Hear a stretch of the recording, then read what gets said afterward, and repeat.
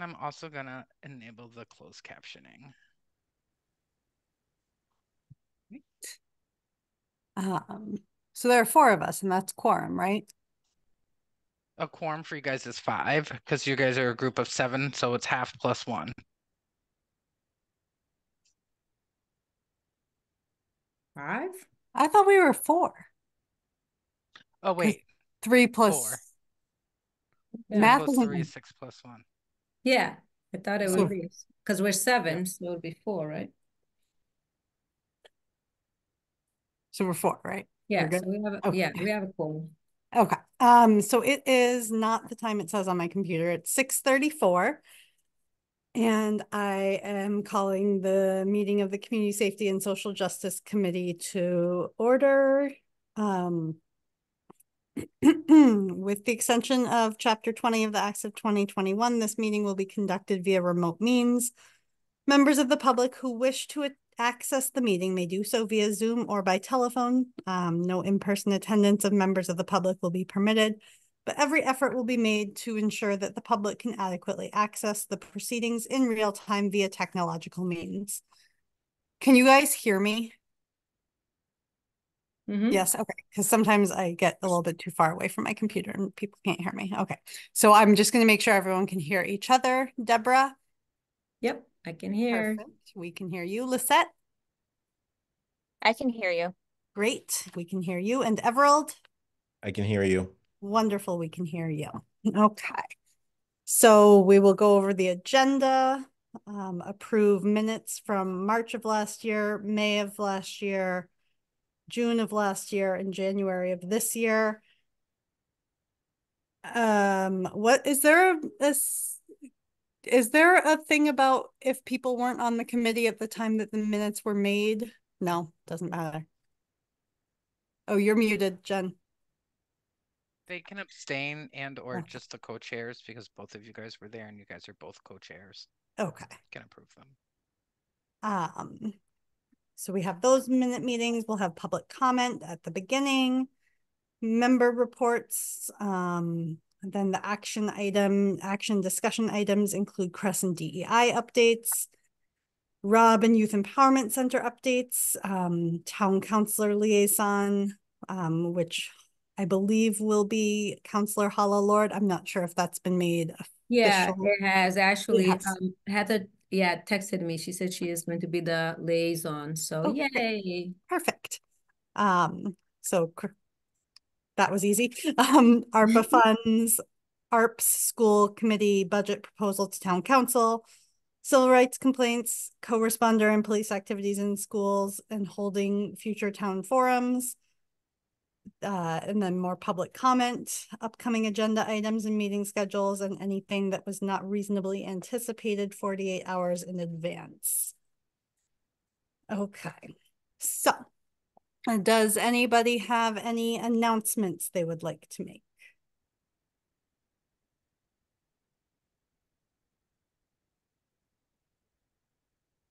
Jennifer, are there any upcoming DEI events?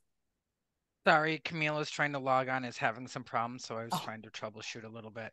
Perfect. Um, so we do have lots of upcoming DEI events. So in May, we have on May 19th, we have the AAPI Heritage um, AAPI Heritage Celebration. So that's Asian American Pacific Islanders uh, celebration that will be on the town common and or at the middle school depending on um, weather. We also have the um, jewish heritage jewish american heritage celebration that will happen. There's two events. There is one that is sorry. There is one that is on um, May 7th, and that will be with the town council, and they'll read the proclamation and have a small event. I don't know what's is going on with my computer. It just lost everything. So, and then also there will be one on May 26th at Crocker Farm Elementary School. And then, of course, in June, we have the Youth Hero Awards and the basketball tournament and Race Amity Day, as well as Juneteenth. Is there a date yet for the Youth Hero Awards? It is June 9th. And what, what's the time? It, well, it's all day because there's that basketball tournament. So, but the Mhm. Youth Heroes and Race Amity Day part and lunch will be from 12 on. Okay. But just, yeah, but the basketball too, at what, what time? It's Just so I can get the word out. Yep. So registration will start at 9 a.m. and the games will start at 10 a.m. And that's at Mill River. at Mill River. Okay, good. Yeah, when you have like a flyer or anything, let, let me know, um, because, you know, I'll share it with my networks. Absolutely. So, um, apparently we have some folks that are having a hard time. So if you guys want to kind of go on with your meeting and I will try and troubleshoot with them. Okay. Okay. Um, I do have an announcement. yes, Everald. Um, so the ZBA voted to, um, to build that low income housing that we've been discussing for quite some time now. So that has been fully approved and it is now out there for, um, the BIPOC community to, um, get in with, um, credit counseling, how to qualify for a mortgage, and how to get into one of these houses. Um, it is being led by Valley CDC, and they are offering free credit counseling um, for people. So anyone that is interested should um, reach out to Valley CDC. Um, I know there's more information about this on should be on the town website, but um, the ZBA has voted for it, so it is moving forward with um, it is going forward. And I think it should be completed in construction either in a year and a half or two. But for now, what is happening is teaching people how they could qualify for one of these houses. So Great.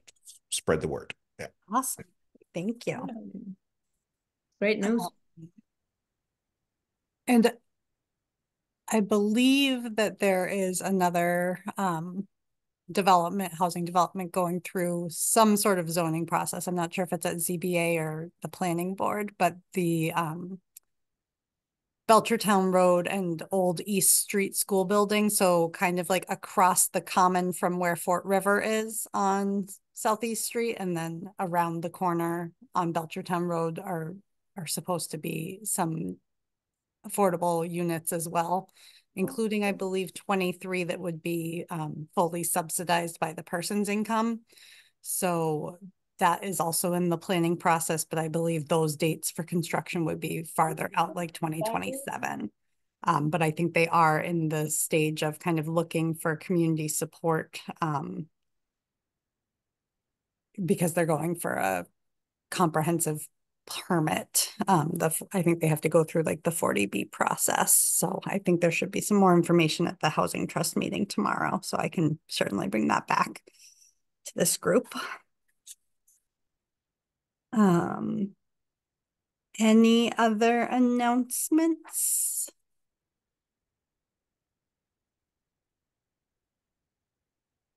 All right, I'm not seeing any other hands in the Zoom room.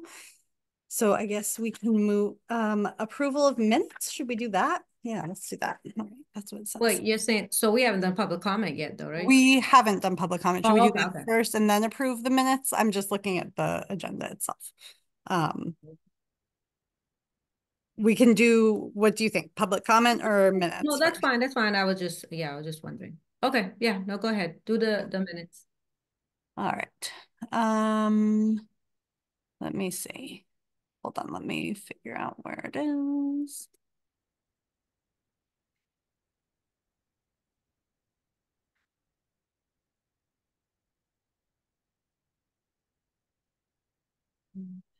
Mm.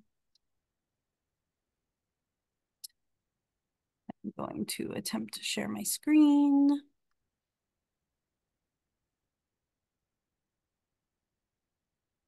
All right. Um, can you see the meeting packet on the Mhm. screen? Okay, let's see. Wait, whoops, I went too far.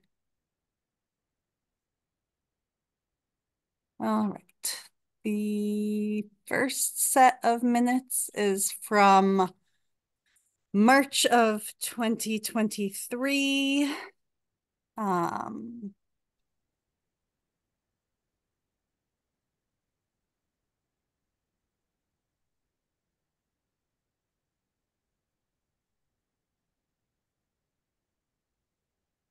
So we talked about press and listening session, DI update. Uh, Chief Livingstone was retiring at that time. Um. Post, CSSJC budget, ARPA, public comment. Um. Deborah, do you have anything you would want to change about these minutes, or do you think we can vote on them as is? Yeah, I mean, to be perfectly honest, I haven't had a chance to Okay. get any of these, so we can go. Fine. ahead and vote. Um, Um, Deb, for Eric, can you check your phone? I didn't know any other way to do that.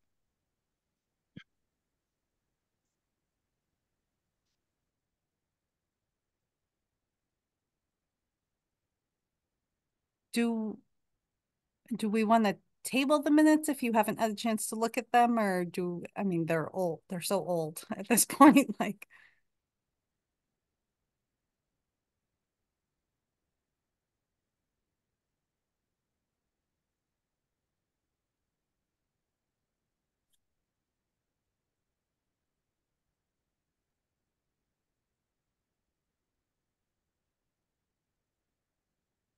I wasn't present for any of this, so if you both think it's okay, then Right. I'll vote to approve it.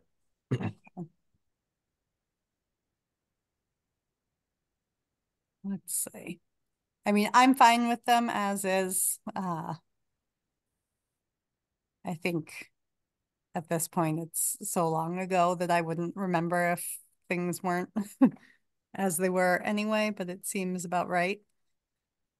Um, so Jen, is this one of those things that we have to do the formal moving and voting and all of that jazz? Just, oh, that's where my pen, the puppy, I dropped my pen and the puppy's got it. Um, no, you just need to, um, approve them because it's just the two of you, really. Okay. So I am okay with approving them if you are, Deborah.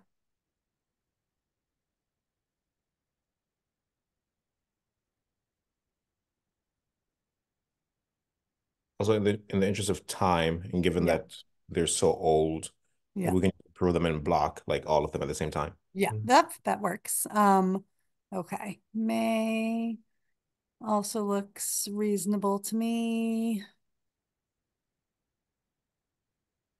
And then there was June. Oh, was I at the June meeting? I wasn't there. Um, all right. And then the only ones, okay, so I think that we can approve March, May, and June of twenty twenty-three. And then the January meeting was of this actual body that's here tonight. Um. Does anyone have any concerns about that, those minutes? I don't. Okay. Oh, that was a, that was the very, very short meeting because it was just me. It wasn't a meeting. Nobody was, everybody was unable to come.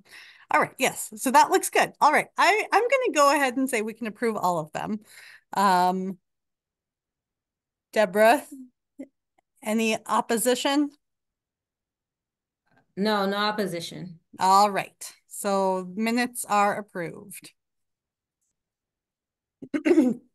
And I suppose we will move along to public comment. I'm gonna We have to- stop sharing screen for now. I can come back to sharing screen afterwards. Um, so I have to read. Uh, during the public comment period, the chair will recognize members of the public. When called on, please identify yourself by stating your full name, preferred pronouns, and residential address. Residents are welcome to express their views for up to three minutes. At the Well, discretion. Actually, today, let's just do two minutes. Okay. Uh-huh. Um, for two minutes at the discretion of the chair based on the number of people who wish to speak. No speaker can cede their time to another speaker. CSSJC will not engage in a dialogue or comment on a matter raised during public comment.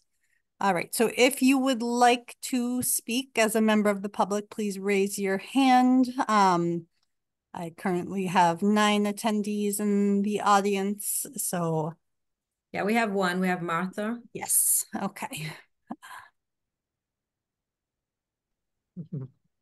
Hi, I'm Martha Hanner, I live in South Amherst. I just, quick, quick comment. I mean, you're, um, you're doing old minutes, which I congratulate you for. I mean, our League of Women Voters has always felt that it's really important for every public committee to keep up to date with their minutes so that the public knows what was going on. And so I'm just curious to, to know who it is that takes the minutes for your meeting. Do you rotate among the members or does your uh, person like Jennifer take them all the time? But uh, anyway, that's all I wanted to say. Thank you. Yes, thank you, Martha. Um, and a big thank you to Jennifer, who has usually been the one taking the minutes and who has asked me in the past if I could get somebody to do it. And I have forgotten to ask that at the beginning of the meeting. Um, so if anyone going forward would like to take minutes, feel free, but let us know. Um,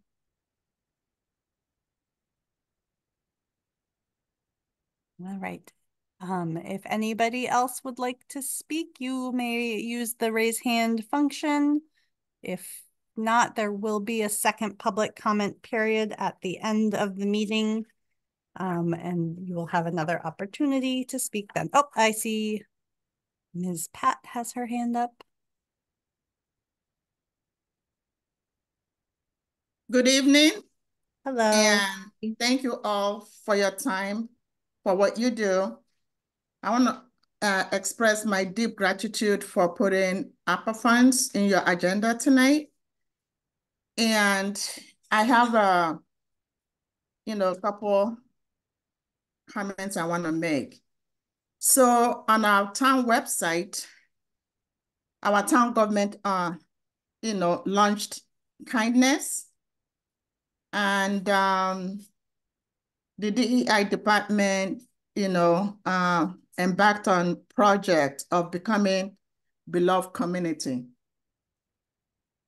There is nothing wrong with this uh, project, except that it's an irony that the leadership, the leaders of our town are pushing for, you know, residents to you know, do random kinds of kindness, and yet they're not be able to show kindness to the most vulnerable residents and businesses in our town through the ARPA funds.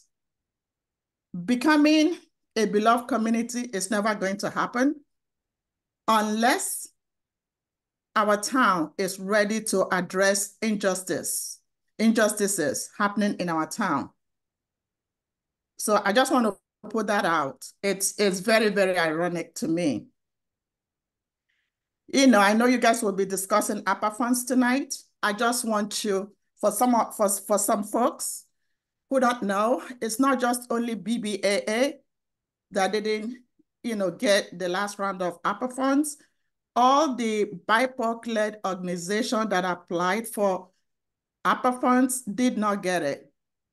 MS Media is led by a, bi a BIPOC woman, community connections, and then BBAA, of course. However, all white-led organizations in our town all got the funding.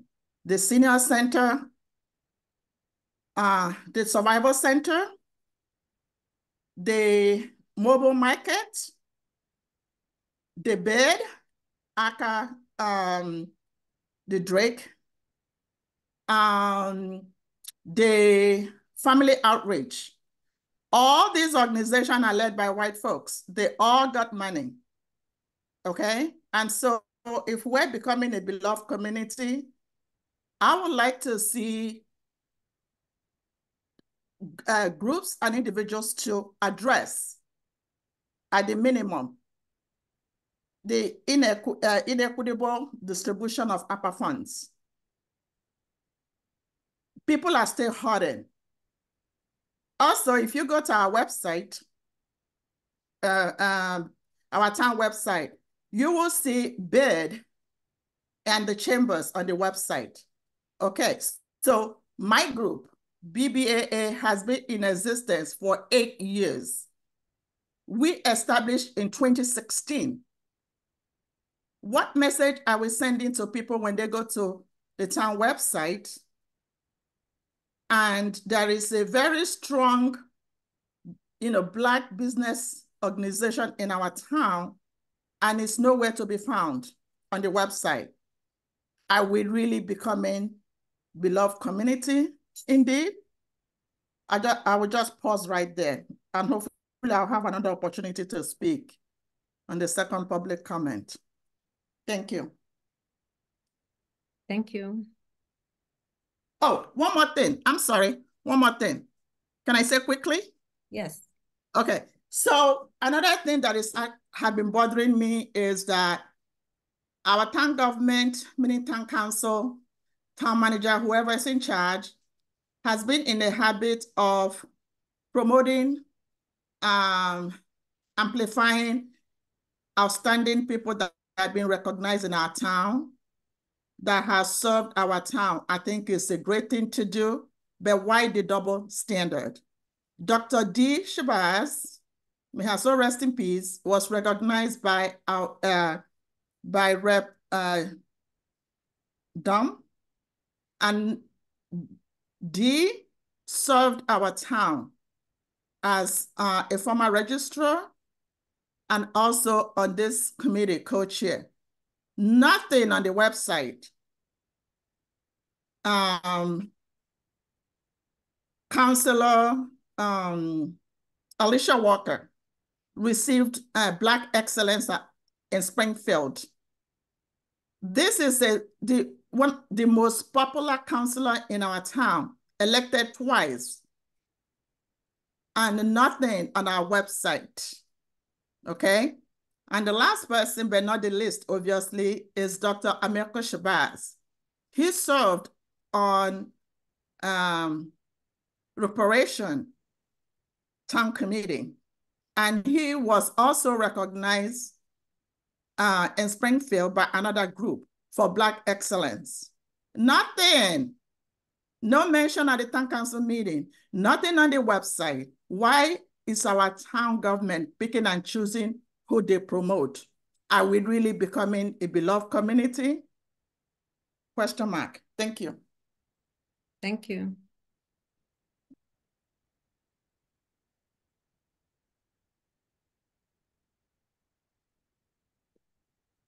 Allegra, you're muted. Um, there are two phone numbers that are on the screen. I'm not sure if you have been, if you've asked to speak or have public comment you want to make.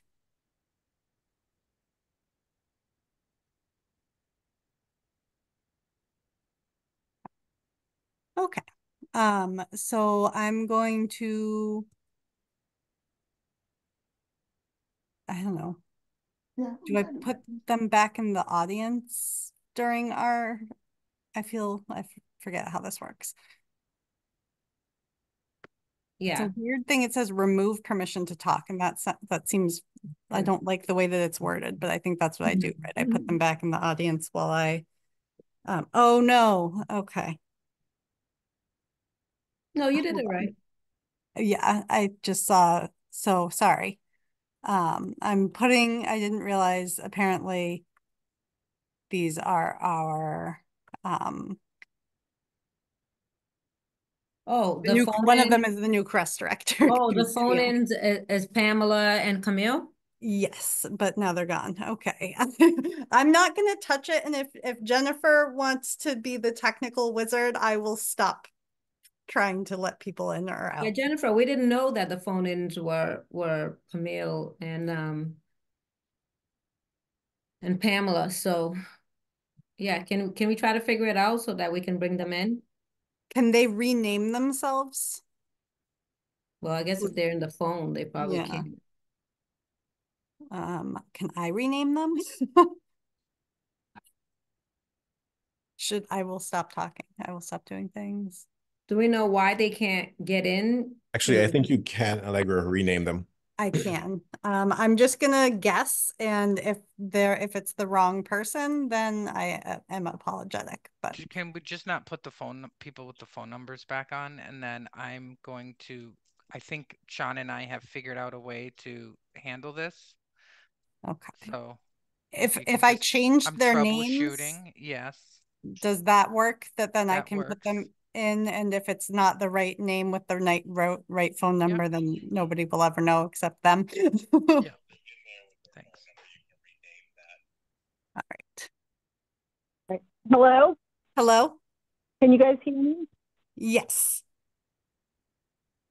Hi, Hi. this is Pamela. Uh, I, I have tried multiple times. Jennifer's tried with me, and for some reason, I'm not being able to get in. Um, Yeah, but Sean Jennifer, it sounds asked- like you and Sean have, Yep, he, yep. he's asked that the two of you sign into your actual Zoom account instead of trying to use an, the link that's there. Okay. All right. Um, Cam- we, we might have to try to walk Camille through. I don't know if she's signed in through her, uh, into her town Zoom account previously, so I'm not sure if she'll know how to do that. And she and I both also tried the public link and had trouble doing that. But all right, I, Yeah, um, he's saying because I'm gonna try to have the, an actual Zoom account that the, you need to sign in through the Zoom link first, Okay. through Zoom first. All right, Camille, do you know how to do that? Are you set up to do that? I doubt if she is. Oh, she's muted right now, so.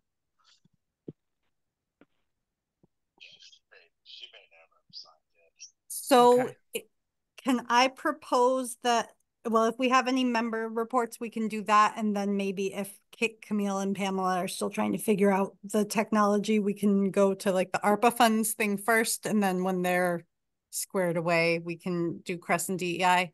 Does that, is that a okay plan or?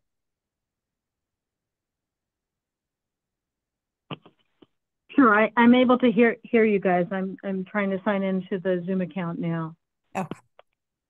Um, so do we have any member reports? Well, I think we'll, we'll, we'll end up talking about it in more, uh, specific, because we have it on the, uh, agenda in terms of the, um, you know, school committee budget and Mhm. then the ARPA funds, but just to say that, you know, I've gone to a variety of town council meetings and, um, school committee meetings to, um, the school committee, the regional school committee meeting was around the budget that we'll be discussing later, and then obviously town council meeting um, in support of the budget as well as ARPA funds for our BBAA and um, making sure that those are, are equitably distributed. So, but we'll talk more um, from the agenda. Um. Anybody else have any member reports?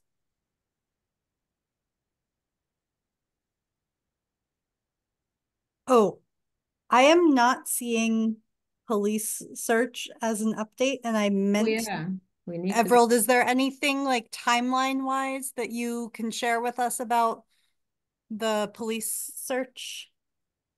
So I, I think it's appropriate that it's um off our agenda, and I say this because um we had our town forum, um open forum last Tuesday, where the public had a chance to um ask her two finalist questions and form their opinion.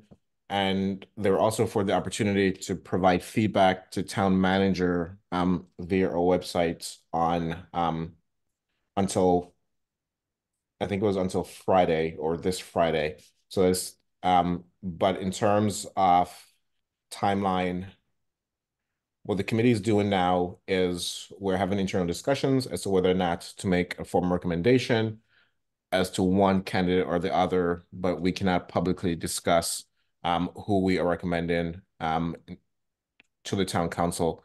Um, and at that point, he will meet with his internal team and make a decision as to whether or not to choose one of those people or to um, reject both or one. Um, his timeline, I am not aware of um, just yet, but the goal here is to submit the committee's final recommendation to him hopefully by Friday. Thank you. So you, when you're saying him, you're saying town, the town manager? Yes. All right. So yeah, I mean, I thought that that was on the agenda, so that was a um kind of mistake because I thought we were going to talk about that because yeah, I was also at the um at the police chief forum um and I did want to talk more about that. So do we talk about it here then, since it's I'm the sorry. I'm, I'm, because I'm having multiple conversations, but I believe that the update for CRESS and is the, not an update for police chief on the agenda? Nope, but it's not I don't there. think so. I don't see it. But we're talking about it, so Debbie can talk about it in here. Yeah, I just want to make sure. Um, so yeah, so I guess my questions, Avril, since you're on the committee, is that, you know, I I did go to it, there, there was the two um candidates. Um, so Yeah, My- I'm switching her if I can. my question is, will, will, you know, are these the only candidates type of thing? Are there gonna be any others that we're gonna get to see? Or i- i- is the town manager gonna make his, his uh pick from these two candidates? These are the two final, these are the two finalists. Um, so he will either pick one from the two or say, I want to see other people. Mm-hmm, mm-hmm. Yeah. Yeah, because I did, you know, I went to it and I did provide um comments, commentary too, through the kind of provide feedback and everything. Um, you know, obviously one is external, which, you know, we don't know much about, but of course talked a lot about being about inclusivity and um outreaching to the community and things like that, which I like to hear. Um, Ting is internal. I did like hearing about his background and the story of, you know, his immigration story. I'm an immigrant to this country, so I was excited to hear that.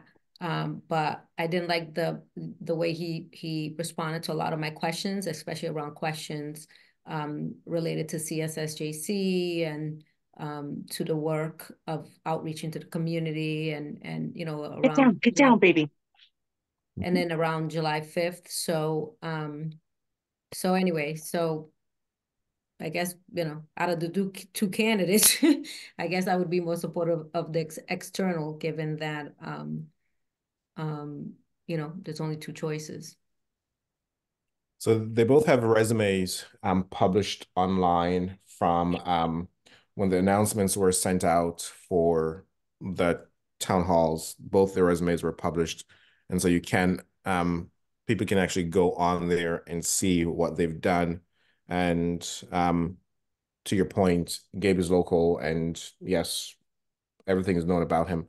And um Lieutenant Ahern um is not. But I, I think if people want to do Google searches, a lot of information is out there about him and see the things that he's done. Um, in terms of this committee, um, if the committee as a whole wants to, you know, submit a letter on behalf of the committee to town manager, I don't think that'd be inappropriate. Um, I just don't think I could be part of it, given that I am chairing the search committee. Okay, yeah, that's a good idea. But that would have to be probably sooner rather than later, because aren't you all, um, isn't the I search would- committee gonna be making the formal recommendation? Bye. I, I would I would suggest yes sooner rather than later. Yeah. But anyway, but I guess even if we don't send it to you, even if it's not in time for, for, for the Now, stop. recommendation, it can also just go, um, directly to the town manager?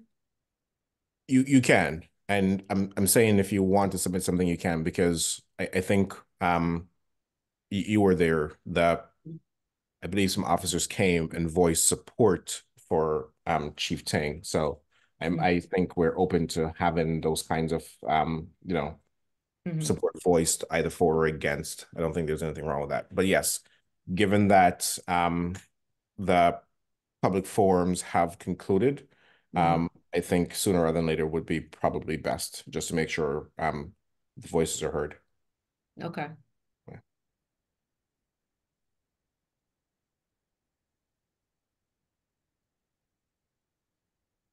Okay, so it looks like Pamela and Camille made it through inside to the meeting. I apologize for all of that. There's, I had to call IT and they'll work on it because it's happened in a couple other meetings, unfortunately. So, um, So welcome to Camille. Camille is the new good press director. Um, so that's exciting. Um, I don't know if we want to go around and introduce ourselves. Um, and then maybe Camille can give us just a brief blurb. Yeah, Um, and, and, and, you know, and just to say, you know, Camille, obviously, you know, we're very excited that you're on board, um, and that CRESS has a new director.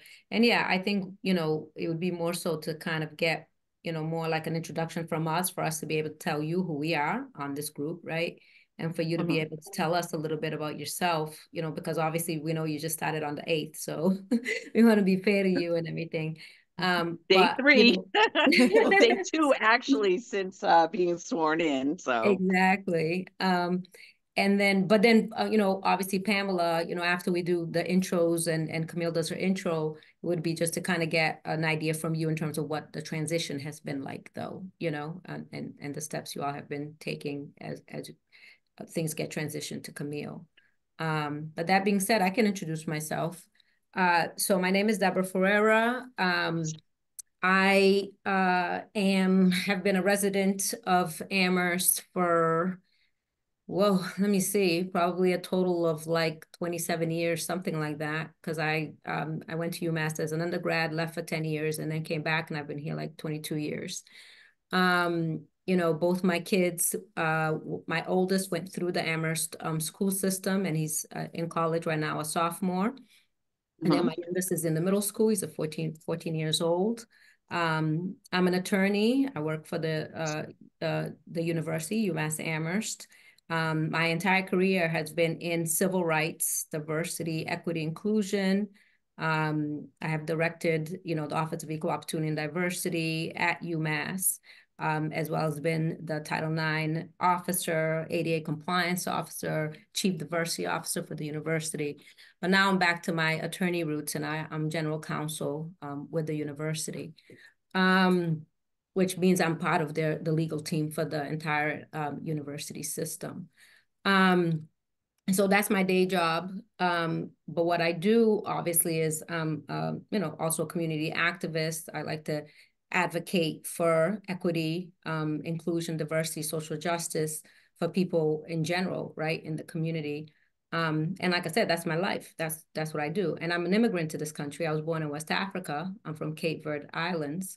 Um, and obviously growing up in the United States as an immigrant, you go through a lot of challenges. You go through a lot of um, dealing with isms, right? Sexism, racism, xenophobia, um, and so on and so forth. So for me, it's a goal of mine to make sure that others don't have to go through that, that my kids don't have to go through that, right? Um, and so that's why I do the work that I do. Um, and that's why I've dedicated my life to, to this type of work. Um, and why I got involved was after the George, George Floyd murder, um, which unfortunately was yet again another Black man uh, murdered. Um, I really, you know, of course, I took part in demonstrations and things like that in Amherst, but um, I didn't want something like that to um, happen again. One, and obviously, I wanted to do other things besides do demonstrations. Um, and so that's why when I got nominated to join the Community Safety Working Group, I was one of the um, original members of that group. And a lot of the, hopefully, Camille, you'll get a chance to read the reports that the Community Safety Working Group uh, put together, uh, Part A, Part B, and um, Seventh Generation Collective Movement um, report too. That was the consultant that we got to uh, put um, together a report for us. And then LEAP also was another consultant that we contracted to get us information for the Part B. Um, and so, you know, I took part in that. And then I became a part of the Community Safety and Social Justice Committee, which is the committee that you're here with us today. Um, and, you know, one of the things that CSSJC were about is monitoring and making sure that the recommendations that CSWG put together, Community Safety Working Group put together, that they are going to be put in place and monitored. Um, and so some of the recommendations have been put in place, others have not, and that's something that we continue to do.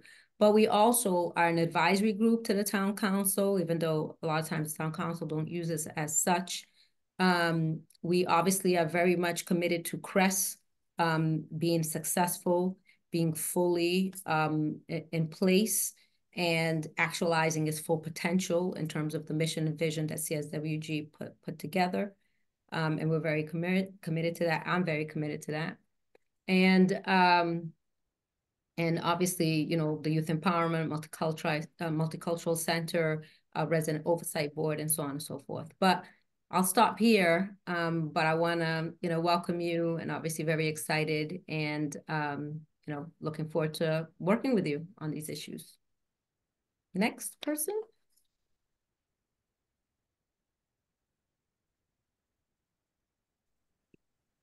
Everald, I don't know if you want to go. I, I can go. Hi, Camille. Um, nice to meet you. Welcome. Uh, my name is Everald Henry. Um, I'm a local attorney in Amherst. I do a lot of immigration and criminal work. In my criminal work, I take um, cases for people who cannot really afford attorneys. Um, I'm part of this committee, um, CSSJC, as well as the Zoning Board of Appeals. Um, I am very vested in social justice. And so this is an opportunity for me to serve and know that you are new and there's going to be a lot of things on your plate, a lot of um, moving parts and people coming in from all angles. So just want to say that we're here to help any which way that we can. And don't be afraid to lean on us, like Deborah said. And so just welcome.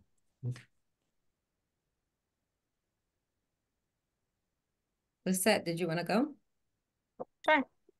Um, good evening, Camille. My name is Lisa Paredes. Um, I'm a resident of South Amherst.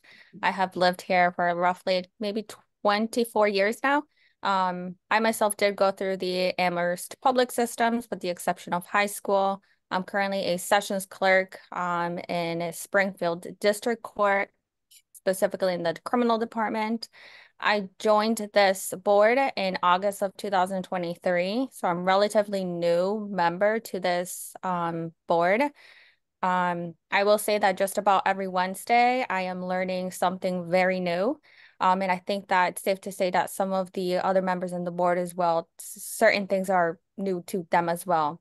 Um, so I say that so that you know that you will be constantly learning on every if if you were to join our meetings on Wednesdays. Um, but our chairs, Allegra and Deb, they are really great at providing information and being very good at guiding us through this um, board meetings. Um, I actually, this is my first board that I have joined in regards to social justice um, and equity. So it's it's it's been very um interesting so far for the last few months. Um, you know, I've lived in Amherst, like I said, for X amount of years, 24, but there's a lot going on in the community that I really wasn't aware of until I actually joined this board. Um, and some of it, it actually really does surprise me um, how different things are with, you know, different members of the town of Amherst. But that's it for now. Thanks, Lisa.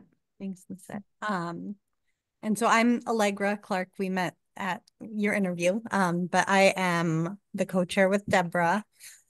And um, so during the day, I am a social worker. I work between the Holyoke and the Palmer District Courts, um, doing involuntary commitment hearings for substance use and mental health. Um, and I had previously done that when I was living in Boston. So I think one of the things that kind of struck me was just the disparity I would see in the courts, whether it was out here or in Boston, between um, kind of just the treatment throughout the process of white people mm. versus people who aren't white. Um, and I feel that I am in a role that does interact with with communities that might not come to the court as a place for help. Um, and mm-hmm. so thinking about that in the community and thinking about some some communities in Amherst might not see the police as a group that can help them, I did become pretty interested in the work that um, the local defund group was doing in terms of trying to get some money rerouted from the police department into some alternatives. Um, and that was kind of before CRESS was called CRESS, that was what people were hoping to see. So I I've been really invested in the idea of something like CRESS being here um, and being an alternative for people who might have had negative experiences with in the criminal legal system or who don't feel comfortable with the police for whatever reason, but still might need some assistance um, from a public safety department. So that was what kind of drove me to join CSSJC, as well as obviously my background um, professionally um, because I do think that there there are ways that my work could be improved by having a resource like CRESS in a community like Amherst. So um, that's why I'm here. And I um, I graduated from Amherst High School myself, so I do have um, that kind of aspect of coming back to this community after having been away for a while and and now being a grown up here as opposed to like being a kid it's mm-hmm. it's different mm -hmm. and um, but I did want to get involved in making Amherst a better place for everyone to be. So I think that's all of our board members. Uh, we'd love to hear a little bit more about you. Sure. Uh, good evening to you all. Um, as you know, my name is Camille Theriaque. I am a retired firefighter. I did was in my 20th year when I retired in Holyoke. Um, I was the one of the first women on in Springfield, and then was um, laid off the day before we graduated. And I came to Holyoke a year later. Um, there were two women, and then one went back. So it was me by myself with all the men for seven years. Um, I also am the first lieutenant on the department woman, and also the first um, Black lieutenant in the state of Massachusetts, woman, female. Um, I was on the critical incident stress management team. I did work with the hazmat team. I taught at the fire academy. Um, I worked as a Red Cross instructor. Um, very community oriented. I love working with people. And after I left the fire service, I went back to school with the intention of just getting my associate's degree and then found a love for, well, I always knew I loved psychology, but became a social worker. And most recently, I was a clinician for the PACT program for BHN, which is Progressive Assertive Community Treatment, which is wraparound services. So I'm very familiar with wraparound services and getting out in the community. Um, and Allegra, you would understand this because some of our people, one of them in particular, was recently before I left in the Palmer court system after, you know, they were questioning a section 12. So um, I'm familiar with those. And very much so understand that there has to be something better than calling um, the police or the fire department or anyone else to aid some of our residents, our neighbors. Um, actually, it was kind of funny. Um, the week before the week before I was um, sworn in, I was sitting in my house and all of a sudden the front door, I'm knocking, you know, went to the door, opened it, and there's two police officers there, two cars in front of my house. And I'm like, hi, you know. I said, do you have a dog? Thinking, yes. Well, you know, some of some of one of your neighbors was concerned because they saw the dog out and they were worried about you. And I'm thinking to myself, no one, my next door neighbors, if they were worried about me, would come over here. So why are they sending the police to my house? Because my dog is outside. And it was like 45 degrees. And that really hit home again about um, utilizing police for things that they don't need to be there for. You know, um, somebody, you know, if somebody, if one of my neighbors, and I know it wasn't one of my immediate neighbors that knows me because they would have just called me or come over. So, um, but situations like that. And I've also had other situations where I have been dealing with someone and um, had them get angsty with like firefighters being around or someone else being around and being able to be there to de-escalate a situation is very important. Well and it is i that is the you know one of the missions of CRESS is just to to be there and to be supportive for the community and that is my intention. So thank you. Um, it- o- one quick question for you. Hopefully you'll be able to meet with us when we have our meetings. We meet once a month on Wednesdays. Um, so hopefully, do you think you'll be able to attend our meetings? So, what I would like to do actually is to meet individually with people when we can work it into our schedules because um, I want to get a sense of what each of you bring to the table and what your thoughts are on what can be done um, and different ways of doing things. And I find that working one on one with people works a lot better than getting in a group of um, folks where you know a uh, quieter person may not necessarily speak up as much as someone like me who is very vocal Mhm, mhm. Yeah, I think that would be great, but I was, I'm wondering whether it could be an and both, though, you know what I'm saying? Because the only, the only reason why I'm, I'm asking, and I'm sure Allegra and others will ask if you are able to attend our meetings, is just that, you know, this is public, and so then we Mhm. can discuss issues and then, the and then the community can hear, right? And they can be, they can have the knowledge and they can know what's going on and things like that. And sometimes if people can't attend our meetings, they go to the recordings, so then they, they, they, they find the information.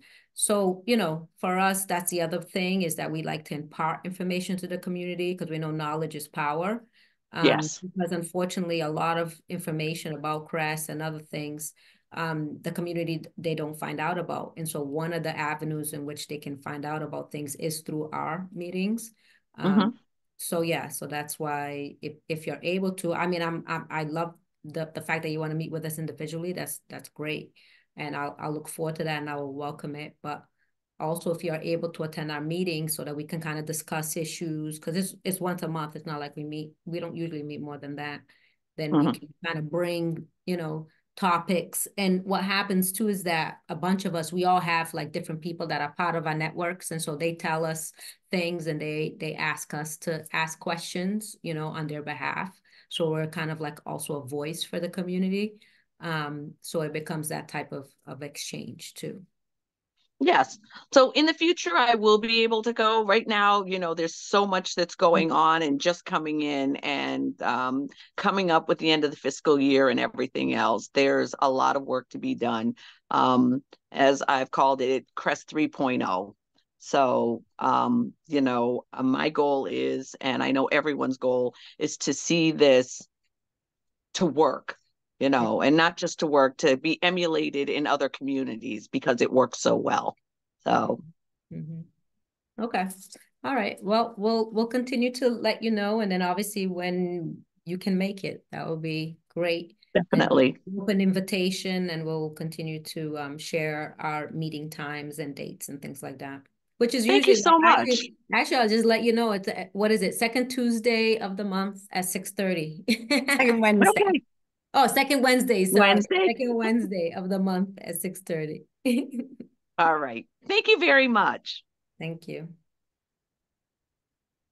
So I guess um in terms of what CRESS has actually been up to, I don't know if everybody got a chance to look at the um public records request response that was sent. Um, but it does it did break down the calls over the le- from November 11th until about the beginning of March. Um, and there were some definitely interesting things, but I don't know, Pamela, before we launch into that, do you have any updates as to kind of the transition or anything else that that would Sure. Let me um, go over what has happened. Obviously, this is just day three, so there's not a lot that has happened in the last uh, two and a half days. But the transition team, the interim leadership team, was uh, present for Camille's swearing in on Monday.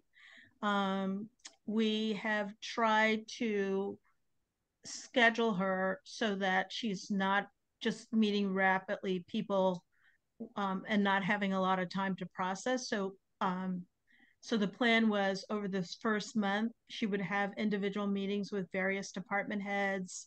Um, she has begun that process. I think she met with DPW um, today, and we prioritize the department heads that have um, a lot of interactions with the CRESS department. And because of the interaction with DPW and members of the unhoused population. So they are, um, her meeting with Guilford and Amy was placed higher up uh, on the priority.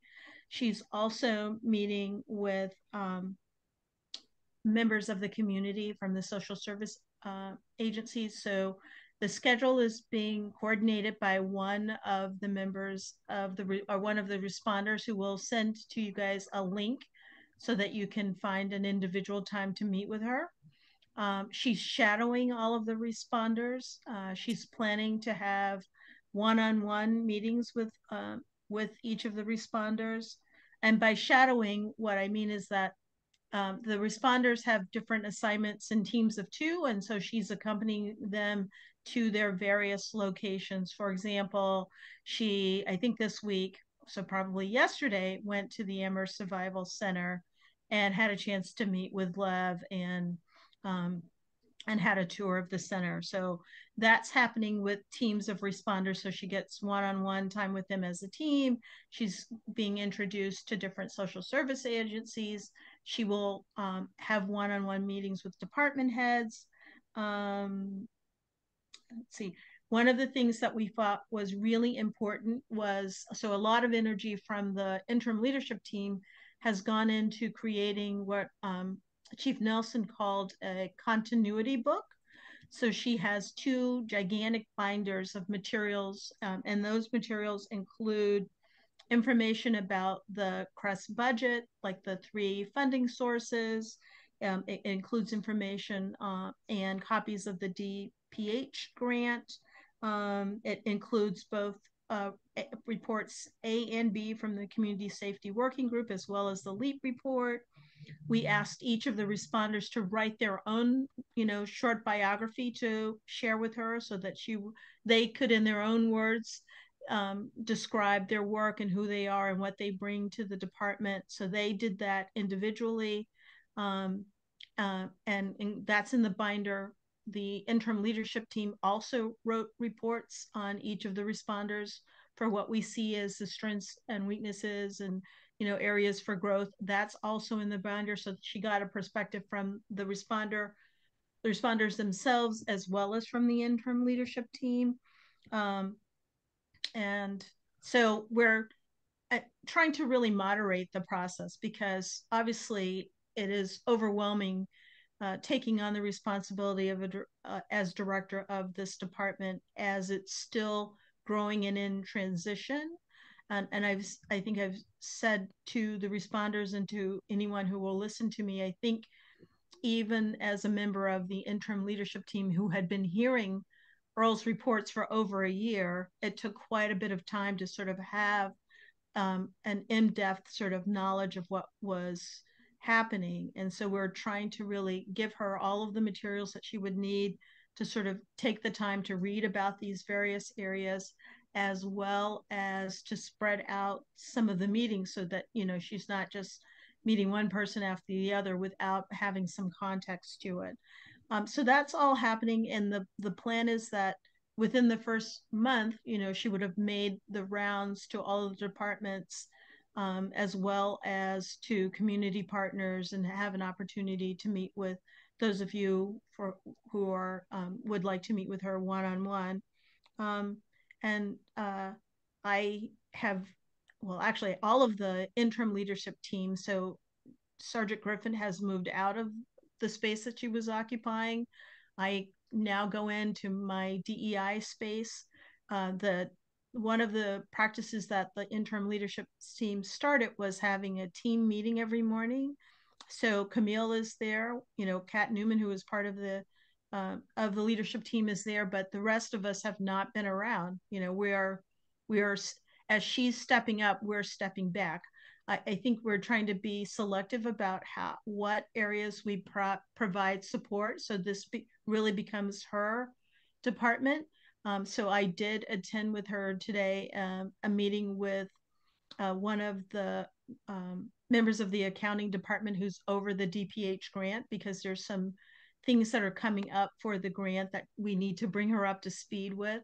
Um, I have been notifying, and I, I think the other interim leadership team members have well, like all of the meetings that we did with the Harvard GPL and the uh, Council of State Governments, um, and even with uh, DPH, we've been stepping back and introducing Camille as the new director so that she can move into those spaces. So I think um, I think that the pace that we've tried to outline is one that will allow her to really learn the department and the people and the key issues in a rate at a rate that will allow her to be effective right not just to dump everything on on her so and camille if i've left something out please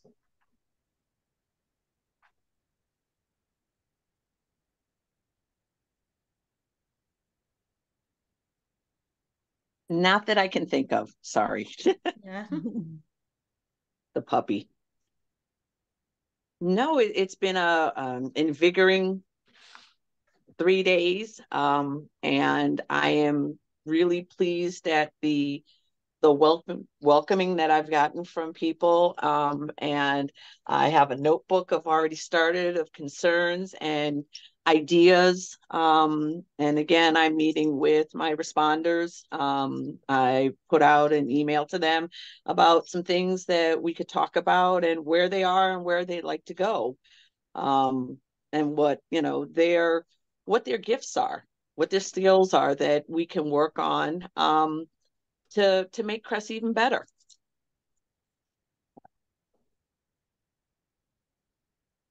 Um, uh, Pamela, in the meantime, though, um, dispatch is still dispatching calls to CRESS and um, responders are still responding to. Oh yeah, I mean, so the operations are are going on um, as normal. There's you know there hasn't been a change in the operations. Mm-hmm. Um, I think you know this is uh, my opinion, I think that one of the next big steps for the department will be expanding the call types. Um, that's probably not likely to occur right away because one of the things that we build into the onboarding for Camille, and I don't even know if we've had a chance to. She might be hearing this for the first time. I don't know if everybody has has shared with her, but um, you know, we the interim leadership team was successful in getting an additional $25,000 for from the Department of Public Health um, to support the department.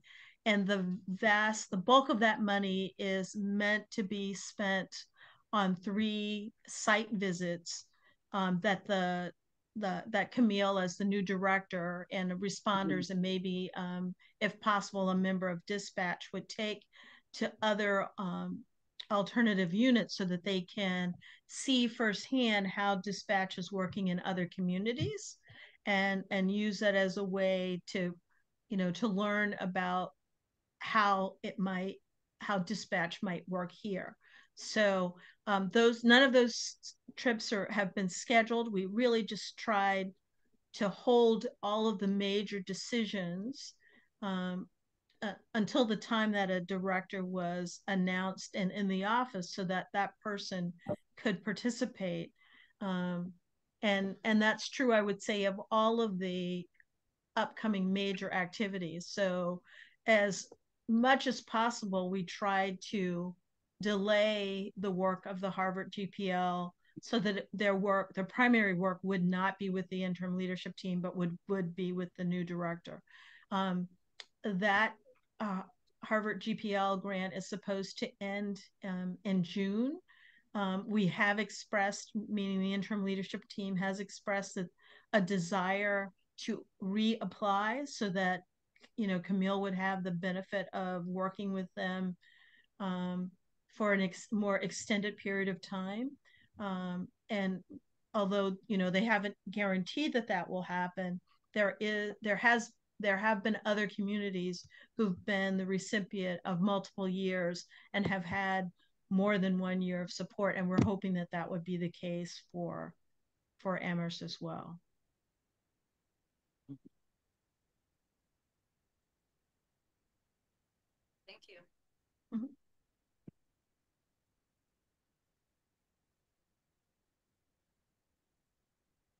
So can I ask a question based on the public records request? I don't know if Sure. you had a chance to look it over, but So Um, Allegra, one, one thing too, though, because I, I don't think the, the, the public records information was added to the agenda, was it? No, um, I- it's, I don't, I don't think so, but, so all I'm saying But is I don't you asked the think it would question. fit under CRESS? I'm gonna put it under CRESS. No, Um, but I'm saying, but I'm saying we didn't share it, like the public records itself. oh, like it's not, I mean, I, I'm gonna, I can share my screen right now if that Yeah, that's fine, but all I'm saying is that I- what I want to do is let's, let's talk about it right now, but then let's Mhm. add it, add it again to next. uh, Okay. Yeah, months, because I want to add it to the agenda, so it's there. And, and then, you know, so we can discuss it and so that the community has an opportunity to digest the information. But yeah, if you could share your screen and ask the questions, but I think we want to also share it with the community. absolutely. Um, so I, I don't know who did all of this formatting or if this is already how you were formatting it, but it did help like break it down into easy to digest information. So that was really helpful for me. And I did like that. Can you, can you explain it a little bit? Because like Yes. the community, yeah. Um, so each, so the, there was a template that had, CRESS had X number of calls, the most Oh, popular. sorry, like, let me, let me stop you. So just so Yes. folks who are listening in and then for folks who are gonna listen to the recording. So what happened was that um, uh, Allegra and I talked, right, about doing a public records request to get information on CRESS and CRESS calls and, and, you know, uh, what CRESS has been working on um, for the past um, two years. And so this was the information, because with public records is whatever records that's already in existence. And so this was the information that we got. Um, and then I guess, you know, and they can charge um for for the the information. So I guess in order for us to get any other information, then we'd have to pay over six hundred dollars is I guess what the bill is that they sent me. So um, you know, which obviously that's not gonna be doable.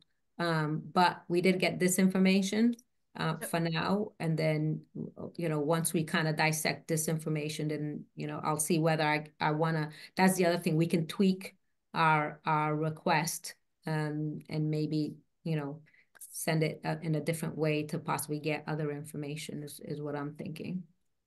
So Yeah. can, um, may I sort of just give you an overview of what you have as a, um, before? You, um, or Allegra, do you want to start? Because the, um, I think it would be helpful to understand a little bit about the process and what you have, what, what you asked for. I mean, this is only a portion of, of what you, of what was asked for, right? No, yeah, Um, that's what I'm saying, because if I want Yeah. the rest of it, then it's six hundred and something dollars. Yeah, which So, is a lot. Yeah, So let, so let, is, is that all right if I just talk about what the, the, how we gathered the information that you, that's there, or do you want to just, do, uh, do you want to, um, I- Allegra, explain what, what, what you have? Well, I guess, I guess the question would be, and then you can kind of explain, the question would be, was this, was what was produced something that you guys were already tracking internally, kind of in this informal way? Because there's no, like, we know there's no like data collection system or whatever, but this, like, was this something that you had as kind of like an internal stopgap or, or was this something that you had to go back to day one to like Right. Yeah, so I think it, I think my overview will help um, clarify and answer that question. So there are now two different data sets that the department has. And, and um, the first data set um, uh, is you don't have any of that information. That the dates for that data set are September 6th of 2022, which is the day that the the um, uh, first responders were deployed, to November 6th of 2023. Um, and that data set uh, uh, is like, you know, I, am not the technical person, is is like thousands of pages and um, would it was not collected in the same manner as this um, template. Um, and so it would it re would require uh, IT going through this process to extract the data and then having it read by um, you know someone in, in the CRESS department and checking to see if there are any exemptions or if information need to be redacted. So um, IT provided me with uh, their process like as simply as possible, knowing that I'm going to be the one who try to explain it. So what they have is like step one is that we have to query the database for the parameters they're searching for, uh, which in this case is all of the data records for that time period that I just described. And then the results of that query are compiled into a digestible form. So, you know, they're doing some things um, internally to, to help sort out the data and then the the information is then divided by individual records. So for that first data set you don't you don't have any of that information. The second data set is november 6th um, to 2023 and you have a portion you have uh, november 6th to the date of the um, public records request which was i believe um, March 4th, or you might you because it was that second data set is is being kept internally. You you might actually have beyond uh, March 4th, so you have that information, and then the other information that you have is the CAD reports from December 18th, which is when they started to use the um, dispatch system, to March 4th, which is the date of the public records request. So you have two of the three types of uh, data sets that would be um, available to uh, uh, are, uh, you know that have information about the department.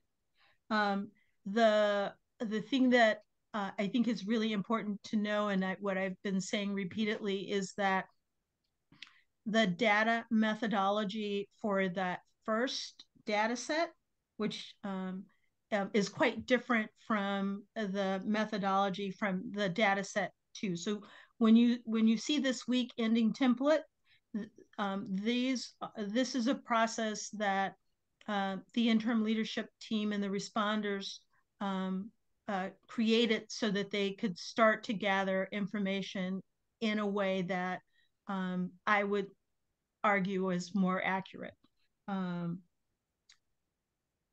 and then uh, what we know coming up, and this is a meeting that Camille will happen happen will have next week, is that the Donahue Institute recommended that the town purchase uh, the Qualtrics software system. So there there will be a the um, the software system will create yet a, a fourth data set um, and we'll ref- we'll refine what we've sort of put in as a stopgap measure.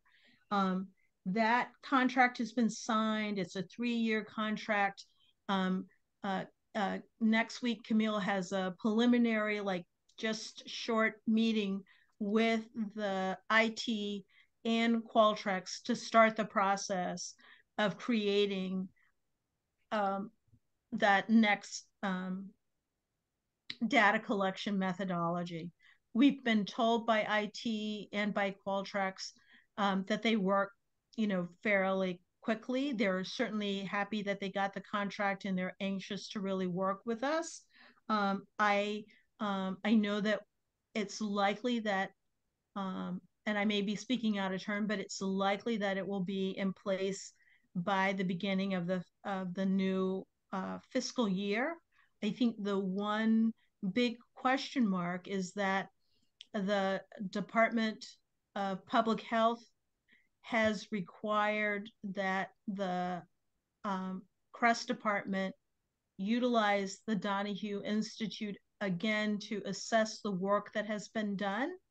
And before we completely finalize any work with Qualtrics around the design of their data collection methodology, we'll want to have the results of the second assessment by Donahue so that we are designing a, a, um, a data collection methodology that captures everything that needs to be captured.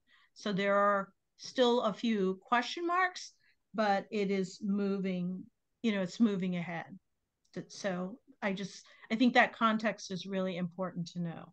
Mm-hmm. Thank you. Mm-hmm.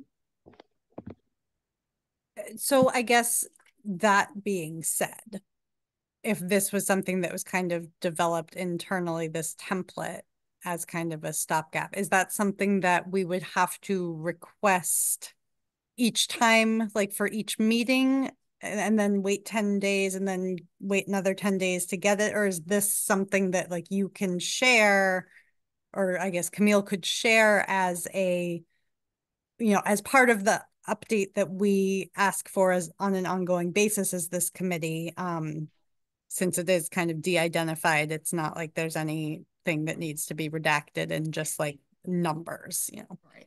So I um so the reports are done on a weekly, monthly, and quarterly basis. I think it, that would be Camille's decision, right? Okay. But the the process is it has been in has been in place since November to start, you know, um, what I would say is a more accurate data collection methodology. Um, so,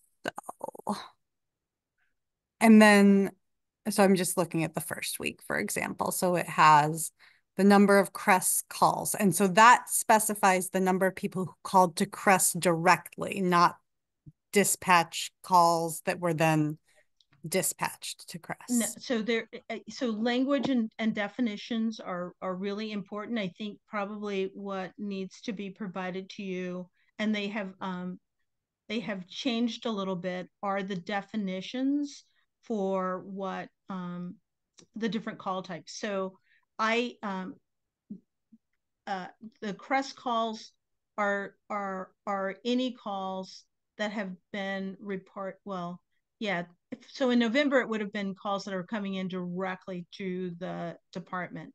I, you'd have to look, and I haven't, I haven't like, I did not do a lot of the in-depth work around the data collection. Mm-hmm. So we'd have to look at the December reports or the reports after December 18th to see if there's a distinction between the calls that are coming in through dispatch and the calls that are coming in directly into the uh, department. One of the things that I know that um, the interim leadership team and the responders have tried to do is to um, to make sure that the definitions for the different call types um, are uh, are accurate and um, and so they're probably between when the department first started in November and when the department went on dispatch, there might have been a few changes in definitions.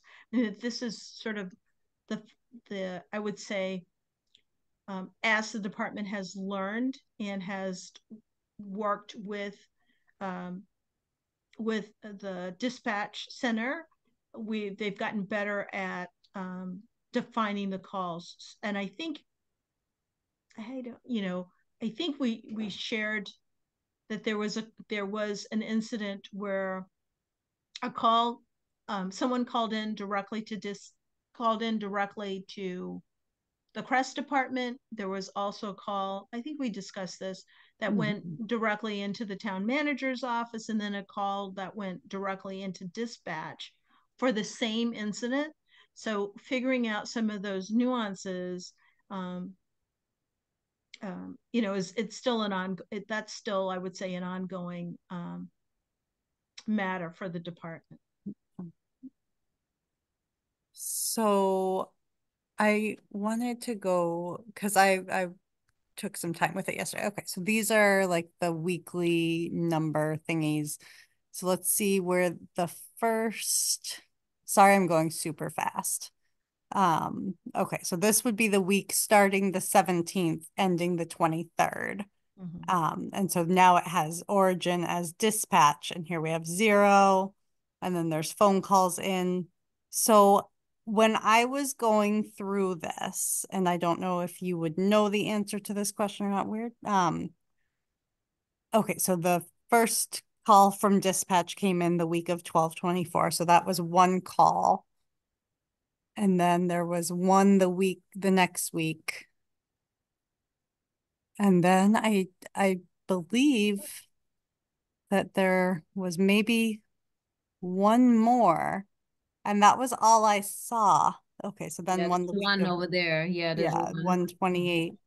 And so that was, those were the only calls, I know that's really small.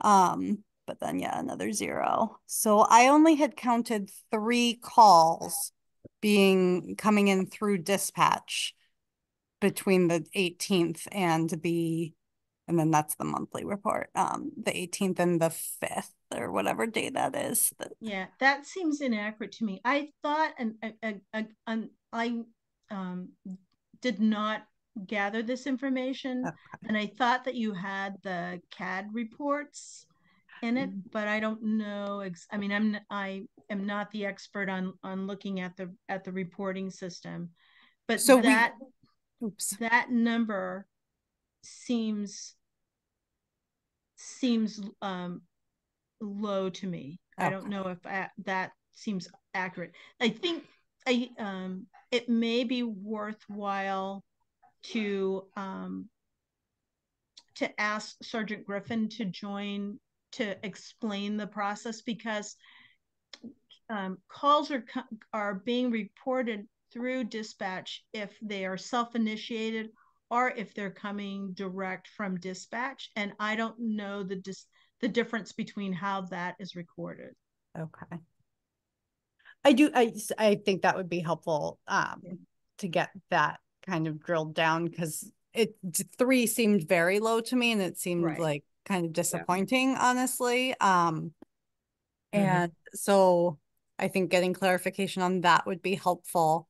Then there was the idea, there was a category where it says unsafe calls, and I don't know if you can read that, but I, is that just something that is triggered as like there's the potential that this could be unsafe and we are not sending the responders out, or is this like maybe Yeah, we I- should let the police know that we might be requesting backup, or what does Yeah. a potentially unsafe call mean? So i don't i don't know i don't have any knowledge of the of those definitions i just i don't know because i i um i haven't been involved so i think this section of the report Okay, is the cad reports yes, Yeah, well, Uh, those, those though, I think we want to be careful in terms of show notes, because those need to be redacted. yes, there were some that were not redacted. I just, if I Yeah. can there's one, I just want to see, because it was around February something that it seemed as if perhaps the, okay, so here it is. Um, assisted the Amherst Regional Middle School with seventh and eighth grade lunch support. And that was like an, o- like, looked like it was kind of an ongoing thing that now the responders are doing. Is that accurate that they're going to the middle school regularly for lunch duty? yeah Uh, I think that I thought that we had reported on that. That a request came from the superintendent's office um, and through the middle school um, um, principal, well, high school and middle school principal, that because of the staffing issues Okay. at the school, there um, so the they there was a request to see if um, if responders could uh, provide the um, some support to the schools, and so they have been doing that on a regular basis. All right. So in other words, it would be a really bad idea for the schools to cut an additional ten percent of their staff. Just saying. Um, but Yeah, no, I mean, I think. Well, but, but, but then that, yeah, but that concerns me because obviously, you know, as we've been discussing for a, a, a long time, that um, CRESS is is an alternative to policing, and CRESS is not just a social service um, department. It's a it is responding to nonviolent any nonviolent concerns and that should be the focus. I mean, I understand obviously, you know, the the issues that the schools are having. As you said, Allegra, that even more reason, right? That our schools get get the funding and that the budget, you know, is increased and that they get budget that they don't have to beg every year for money, you know, and we'll talk more about that. But I don't know if it is CRESS's responsibility though to be filling in during lunch. You, you, you see what I'm saying? I mean, and those are some of the things that, because that's not the original original mission vision of CRESS. The original mission vision, as I said, is alternative to policing. Do the police, you know, go out to the to staff lunch? You, you see what I'm saying? I'm just kind of like, no, it's an alternative. So if anything that's not violent, so there's a lot of other calls that that CRESS should be going to and that you all have stated that they can go to for a variety of different reasons, but then that's how their time is being spent. So, you know, these are some of these discussions. And of course, we're going to delve a lot more into these, into this data. And um, because there's quite a bit in there and, and I haven't had the time to look more closely. And that's why we need to put this data again on for the next um, agenda. Right. Um, I, I mean, the next meeting and on the agenda for, for, for, for us to discuss. Um, And, and I completely agree that, you know, is this what CRESS was intended for? And I guess, I guess my thought process also was mean, wondering if it was a staffing issue versus an issue of there's so much going on during lunch that they need assistance because it's unsafe.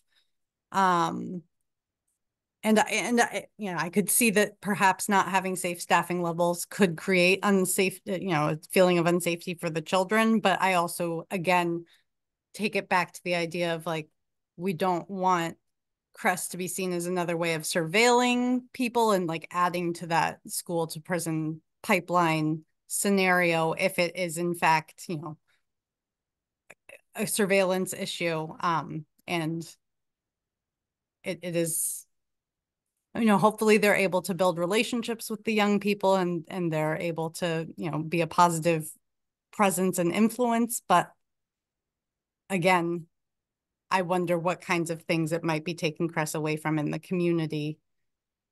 If if that is gonna if that is gonna be a de facto ongoing strategy for staffing the schools, which I don't think is the appropriate way to staff the schools. And I'm, you know, I'm not saying CRESS needs to stop doing what they're doing or or anything like that, but I think it's again a concern.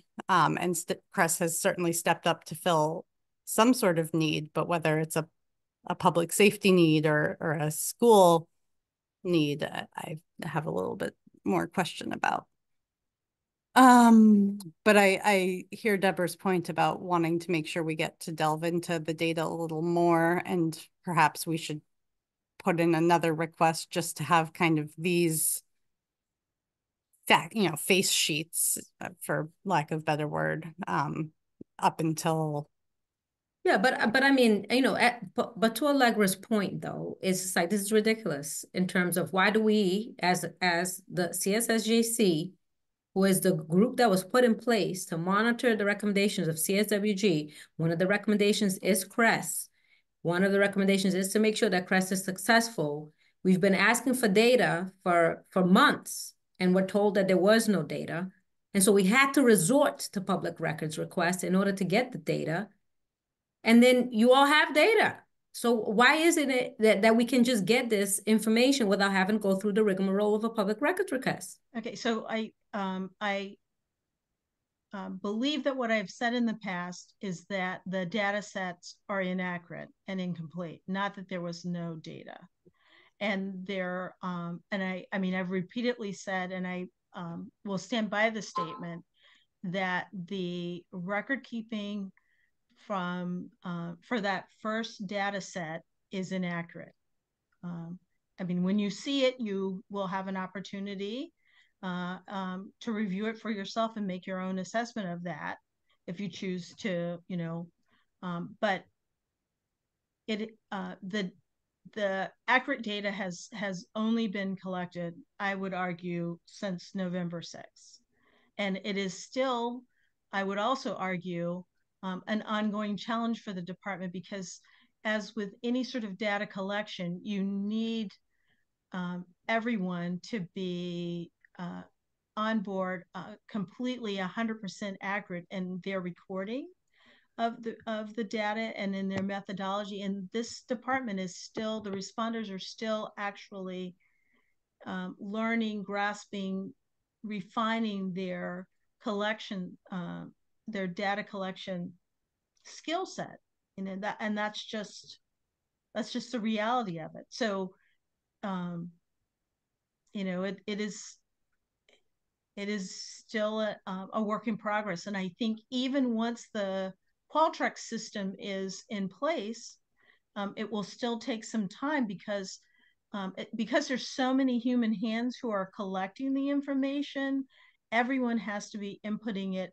in at 100% in order for you to get 100% output. And it's gonna, it's, you know, it's just gonna take, take some time.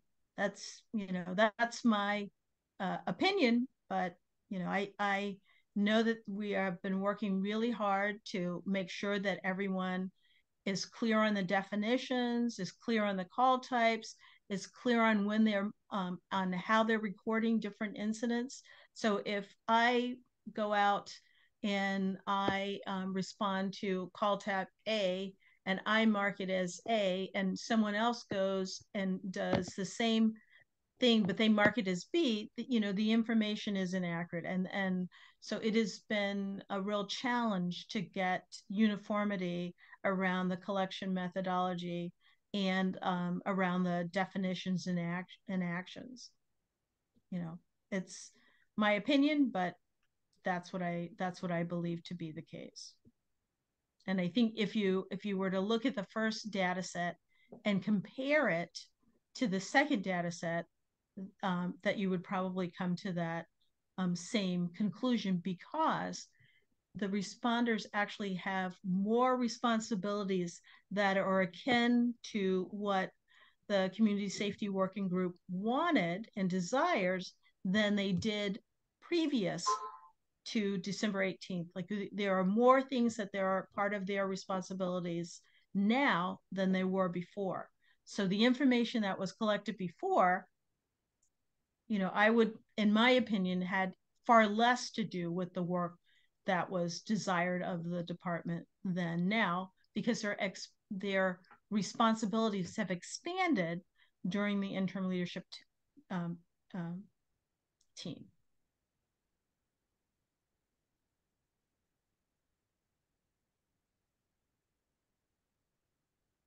Well, I mean, again, we're going to to look at this information more closely. We're going to add it to the next month's um, agenda and talk about it in more specifics. If you need to have, Pamela, I don't know if you need to have Sar Sergeant Griffin on or what have yeah. you, but we're really going to dissect these uh, for the next meeting. Um, and, you know, obviously we're going to redact whatever needs to be redacted, um, because obviously we don't want to, you know, include any any names and, and things like that in, in this uh, in this request when we share it with the community. Um, but we'll add the the public records request with the redactions um, in terms of identifiers or any you know personal information. Um, but we do want to to make sure that we get into these numbers. And I guess for me, it's just like, you know, I hear what you're saying about the the the data possibly you know being skewed or what have you. But the thing is, is that as the the group that is in place to, you know, assess, help, monitor, assist, support, you know, we do need to have some data. We can't continue to be blind in terms of what is going on. You see what I'm saying? And that's why, like I said, that's why, you know, myself and Allegra had to resort to doing a public records request. It's not as if I don't have other things in my life that I'd rather do than, than submit a public records request. You see what I'm saying? So, so my thing is, you know, we had to resort to it. So moving forward, if there's a way, right, to just make sure that we are able to get some data, you know, relevant to the template that you all have here, what have you.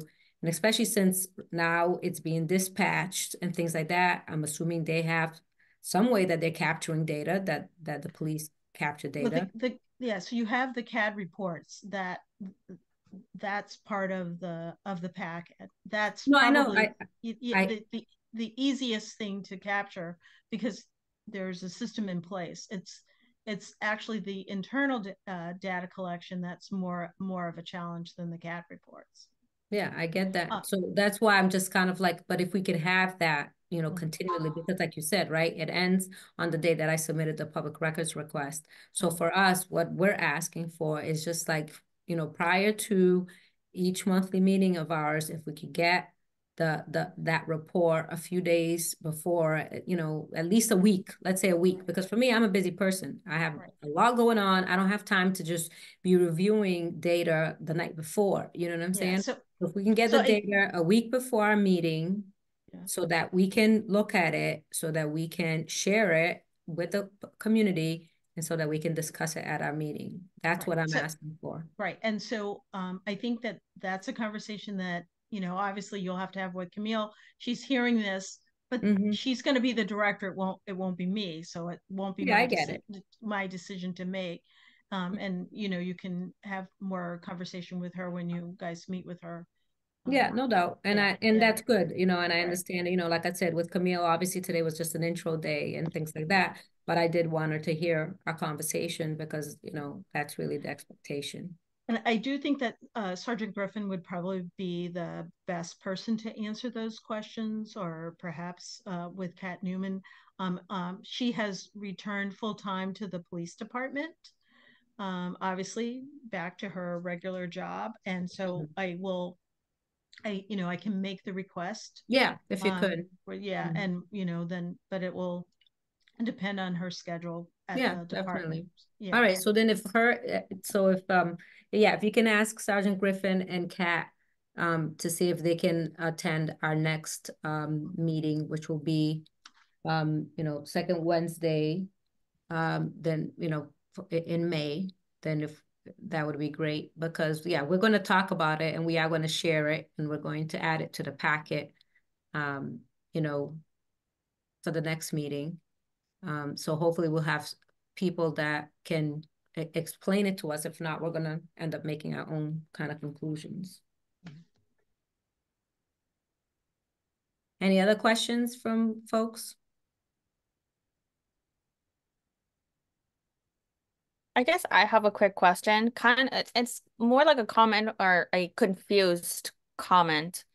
Um, going back to the middle school, um, CRESS responder, wouldn't that have been like who would have initiated that call? Would it have been the someone So from c- the school? Yeah, well, it came as a request from the interim superintendent to the town manager, um, to the department. So it came at the request of the, of the school department.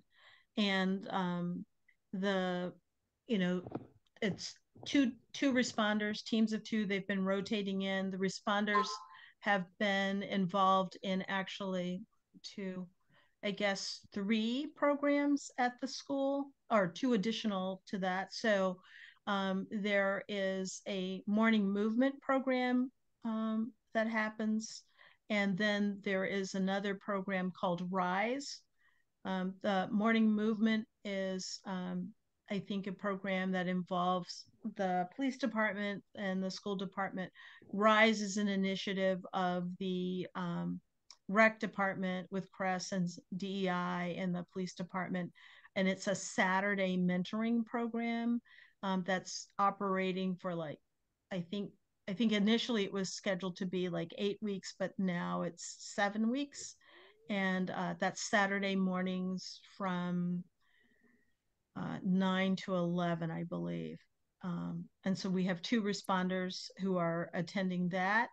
Um, and then the responders are rotating um, in pairs of two um, through um, for the lunch um, hour. and the request was for assistance throughout the the remainder of the school year. I think because um, because of the staffing shortages that they have, they needed additional um, support when there are large crowds of you know larger groups of students. I shouldn't say crowds, but I don't know. Okay, so they've been needing assistance due to shortage, but we don't know what, how they are assisting. Oh yeah, we know how they're assisting, but I mean the request came at from this was not something that this department initiated. No, The- you know, it was from um, yeah, Superintendent right. Doug Slaughter, yeah. Right, Mhm. yeah. So the the request came from the from the superintendent to have um CRESS responders present during the lunch hours. It's I mean it it is it is um I haven't attended, so I'm saying this without having been there um in person, but uh essentially the responders are helping to monitor the larger numbers of school of students that would be gathered during the cafeteria um so as uh, and I can't remember who said this, but it has um, turned out to be an opportunity for them to actually build relationship with students, and they have um, seen students that uh, participate in the other two programs and and lunch. So you know, I I think it is not something that um, the department uh, has committed to doing on forever, but this was a need, and so we're trying to assist another you know, department, for lack of a, or of the town with a need. Um, so Is Yeah. this request something that the school would typically ask of the police? Um, so the police are involved in other uh, in other programming at the at the school. Yes, but I don't. Would they would they do this specific type of uh, um of a, you know of request? Would they answer a request like this? I think you'd have to ask that question to the superintendent and the and the police department. Yeah, I mean, I, I think Pamela uh, is the same question that I had asked, and and, and Everald is asking the same thing that I had had asked, which is, you know, is this the best use of um CRESS's time?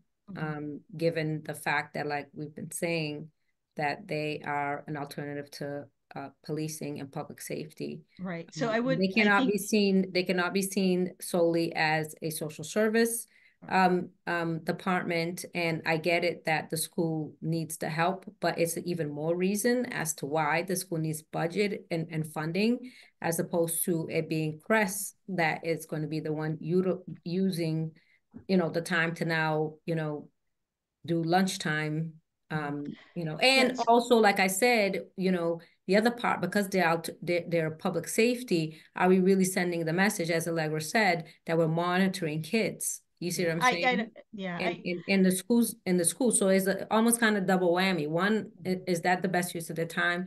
Two, what's, what message are we sending to, to, to the kids that they're there monitoring them?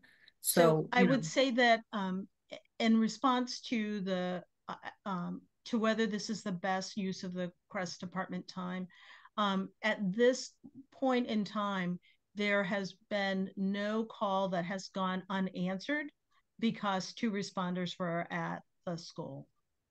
Um, so there's the capacity. And I, I think we were very clear when we met with the school department that if there were not capacity, and we have not, there have been days when we haven't gone. I mean, it is not our number one priority. So we have priority prioritized other things in the department. Um, and when there have been conflicts, we have simply said we're not able to go because there are other things that are more pressing for the department. So it has, this has not been an area that we have prioritized, but we have certainly tried to be good partners with the school and have gone when we, when we're able to. And no other call has been um, neglected or gone unanswered because, um, you know, responders were there. Well, I mean, I, I think, you know, they're, they're, they're not at capacity because they're not being utilized to the full potential. Because Right, which- obviously, which I like right think now, they're not responding to noise complaints, they're not responding to low-level disturbances, they're not Right, responding to all of these Exactly. So I, that we I- have I think, envisioned. right. So can- I can I finish? Can, can I, oh, go ahead. Yeah, so, so, and, and since they're not being utilized to, to, to capacity for, for all of those other, than yeah, so they have all this free time. Right. And so is So- it, is filler? Yeah, so I don't, I think that I, there's no disagreement about that. I think that, um, as I said, like it has not been prioritized over other aspects of the work. And when other aspects of the work, um, you know, if there, were- if, uh, other aspects of the work were more demanding, then the, um, the answer would be no. As, and as I've said, we've said no, because we have prioritized other things in the department first. But do they have the capacity now? Now they do. Will they always have the capacity? No, probably not. Okay, other questions?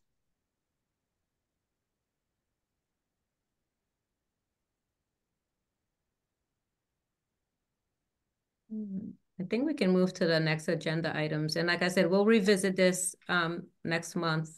Um, thank you, Pamela, for answering these questions and asking um Sergeant Griffin and um Kat to see their availability to attend next month. Because we will, we will be discussing this again. So are we on to DEI updates? Yeah. Okay.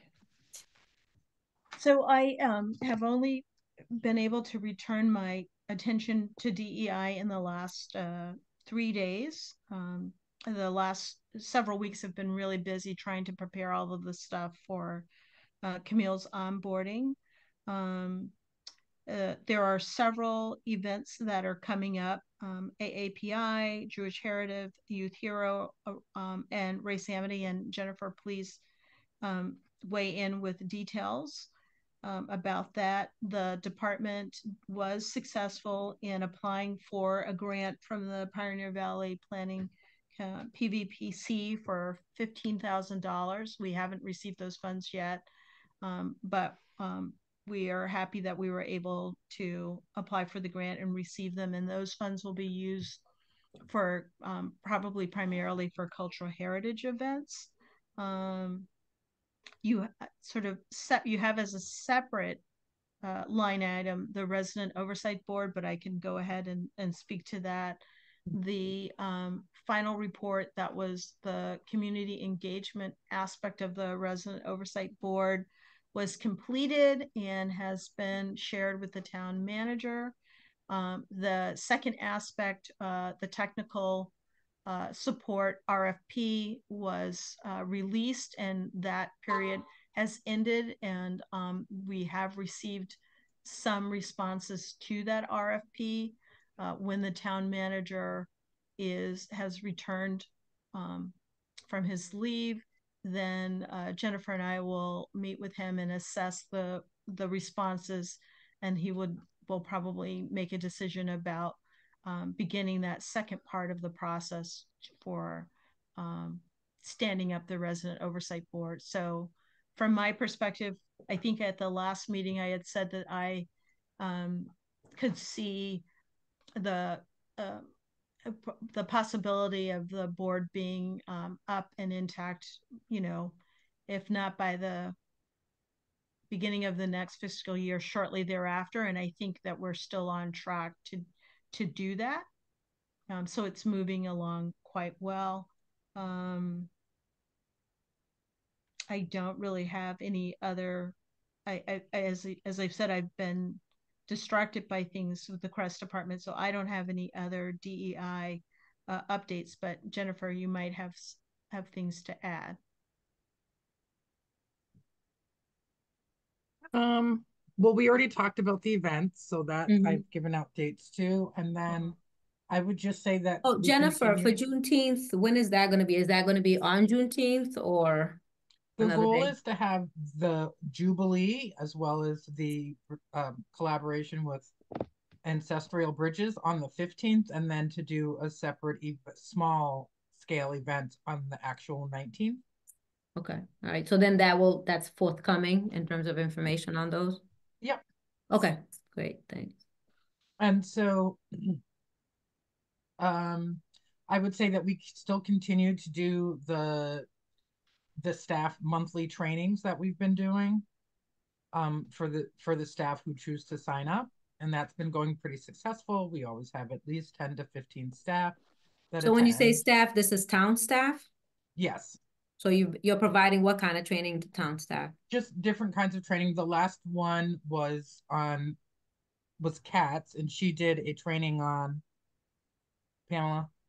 on on on uh, on gender and the one that's coming up which will be next friday is uh it's it has a, a catchy title it's uh, what's in a name and it looks at um at inclusive uh, language both in terms of pronouns as well as other inclusive language and terminology and then um, following that there will be the three that are ha- that are scheduled for this quarter are what's in a name, bystander awareness, and white fragility.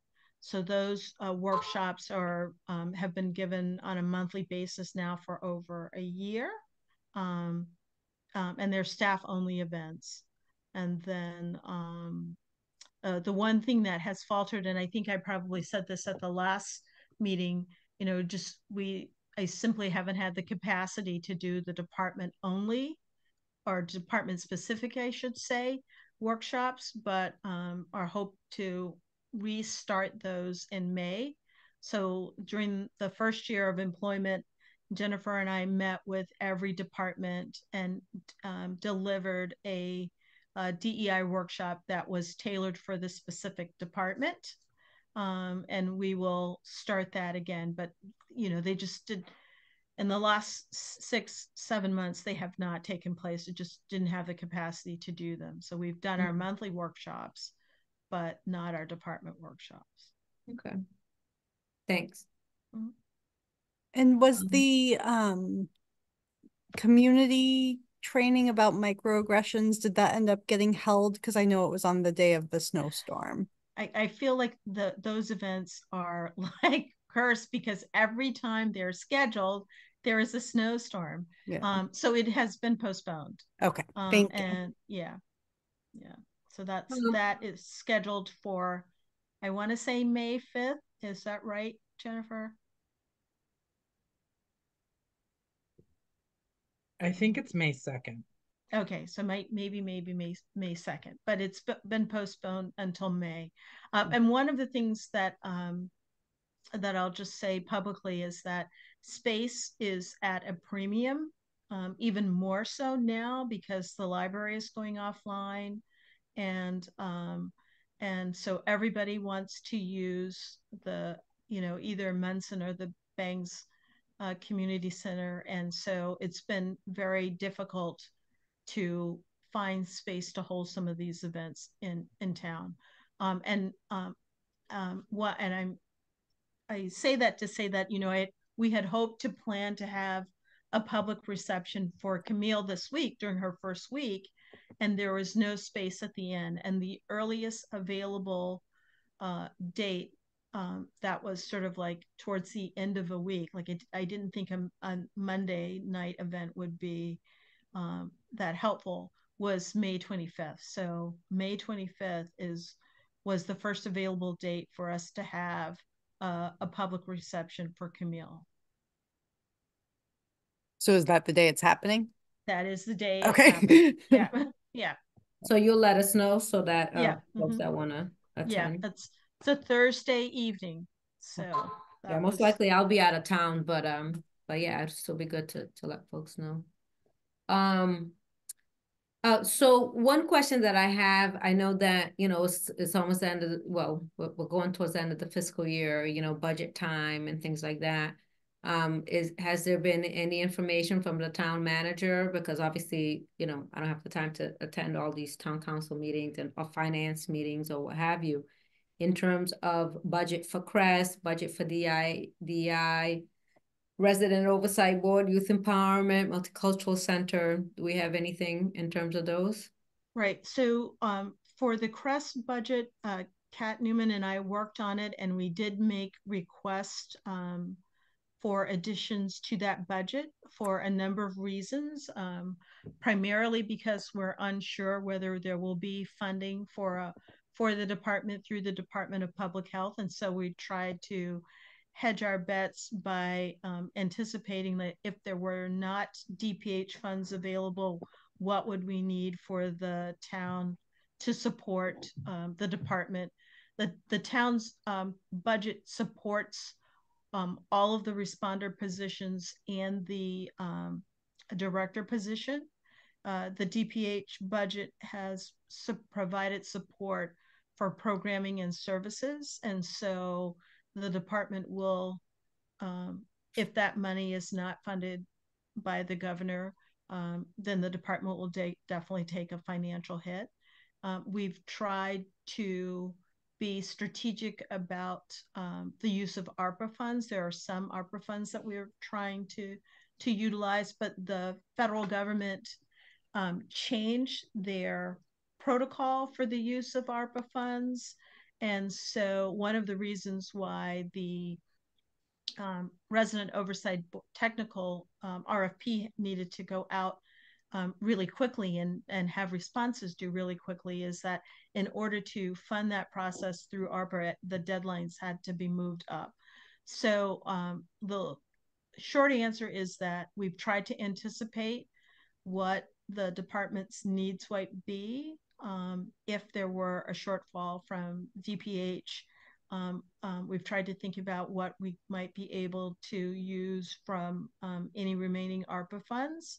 And um, we've submitted a budget, um, you know, that reflects those requests. And of course, it's a process.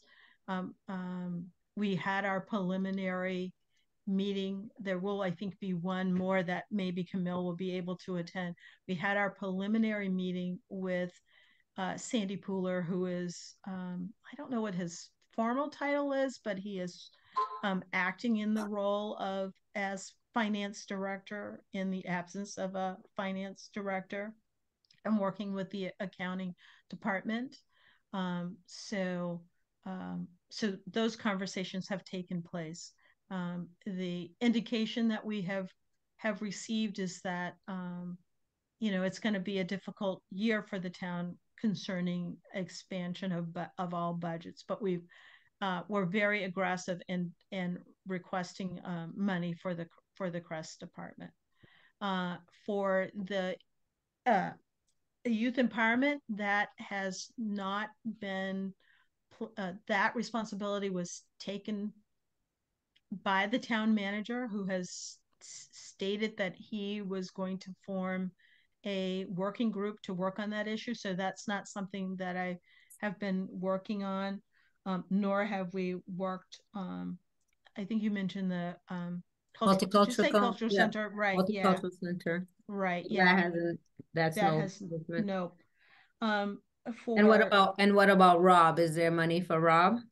Um, I know that the that well there I know that the um, that Sandy Pooler has had conversations with the town manager about what the um, uh, financial support for the resident oversight board might uh, look like. So. Okay. Um, oh, so a question because that is one of the things that um, you know, I talked to, I ran into the, the town manager, the police chief, um, you know, the, the, what is it, open forum. Um, and he said that, you know, because I asked them, you know, that we've invited him to CSSJC a, a variety of times because we we want to ask him some of these questions that I know that obviously is not in your bailiwick, it's in his bailiwick.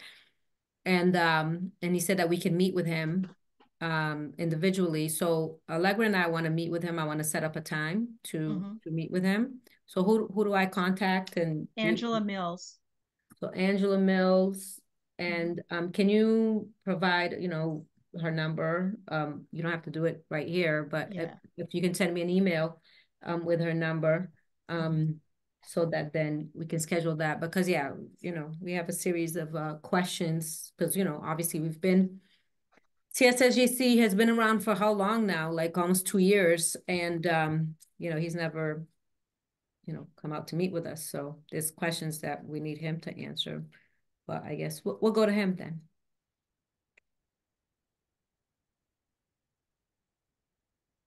Any other questions from the, the rest of the members? Um, I guess in terms of the youth empowerment stuff, I know there was the survey that the AmeriCorps volunteer had worked on, and then there's no more AmeriCorps volunteer, so is that survey still going out to youth? And- So I think uh, Jennifer will have to weigh in. I believe that um, that she met with one um, class at the high school. Um, the survey is still live, but you know, I I think the honest answer is that nothing really took place, right? Because we were we you know i'll just say for myself i i had higher hopes of productivity from the americorps member than we actually realized and so um it you know that was somewhat dis- disappointing but um so i think that we're you know that we are really going to have to renew those efforts again um at the you know over the course of the really i think if i think what I would advise is that over the course of the summer, we devise a plan to start some youth empowerment activities and um, um, try to to use those activities as a starting point and then to try to have conversations with youth about where they would like to um, to see further efforts. I really, I mean, at, at one point, and I think I we had this probably was um, early last year had said that I that I thought that the plan are are the activities that were mentioned in the community safety working group um, were an ideal sort of blueprint to start with some activities. But then there was a question um, in the um, among this group about where are we going to have the locations and whether you know the the spaces that were available were not ideal. And um, you know space is even now even more of a premium um, at this point. But i think that that's the starting point. Um, i and um, one of the things that we try to do and we are still trying to do this with CRESS is to partner on this issue of youth empowerment um, and one of the reasons for the partnership with CRESS is because of the way in which they are funding they are funded. They have more uh, uh, capacity to in to actually support um, youth empowerment and youth enrichment activities than the DEI office does. Um, so they have actually um, one of the responders has um, has submitted a proposal. Of course, Camille hasn't. I don't know if she's had even had an opportunity to read this or weigh in or what her thoughts would be but to um, to think about some additional programming that we might be able to do um, for the next academic year. But you know, the truth of the matter is, very little, if anything, got done. Um, we just it yeah just fell apart. That's just there, there's no way to to sugarcoat it. It just fell apart. Speaking of space, actually, Hmm. um, so I was at the town council meeting where the town manager presented his plans for the remaining ARPA funds, and there's a lot that was allocated potentially to the Bangs Center renovation. So was DEI and or CRESS consulted about space they might need or time frames they might need in terms of space being available, like Yeah. later hours or So so I actually think I mean you know again this this is Camille is hearing this for the first time because we haven't had a chance to really talk um or update her on all of these things. I think that there are um, um, some possibilities for um, expanding the hours that the building is open, but they have not. I mean, they've they've been very, very, very preliminary discussions. Uh, the bulk of the money that has been set aside for um, for the renovations at Bangs are um, are really uh, um, monies that are set aside for infrastructure. Um, so you might be surprised to know that the building is not up to code as far as like um, fire safety. um, the kitchen needs to be um, needs to be remodeled. So uh, the bulk of it is not going towards activities or a space that would support DEI or CRESS, but they are going. It is going to much needed infrastructure, and um, evident of that is that uh, I, I think the elevator has now been out of um, commission for over a month, and um, we are told that uh, the necessary parts um, you know that it might be out for a little bit more. So although it, it is a large it's a it sounds like a large sum it's going towards um, needed repairs and not really towards remodeling space for dei or for the CRESS department. Um, the dei space um, it, i was happy to see today that there is some work being done. So when you guys were visited the last time, there were a ton of boxes and things at the end of the hall for because the current space at DEIN has actually been designated for the health department, and DEI is supposed to move to the other end of the hall, and that has been under renovation for um, since last summer. Um, so we are uh, we are hopeful that we will be in that space um, I don't know. I don't know whether it will be by the beginning of the new fiscal year, but it's likely that we will at some point move into the space that is designated for us. I'm not sure if you can answer this question um, or not. And if you cannot, that's okay. So I understand that um, there's money for um, from the ARPA funds, and it sounds as if from what I just heard, that some of that money may go towards the Bangs center renovation. Are there clearly defined rules as to how to qualify and who qualifies for this money? For ARPA? Yes. So um, it, there are. Um, I am not the best person to answer the the ARPA specific questions. I do know that um, that the guidelines for how it may be spent have changed dramatically and so um, and the deadlines for some of those decisions um, as i mentioned with uh, the resident oversight board some of those deadlines moved up.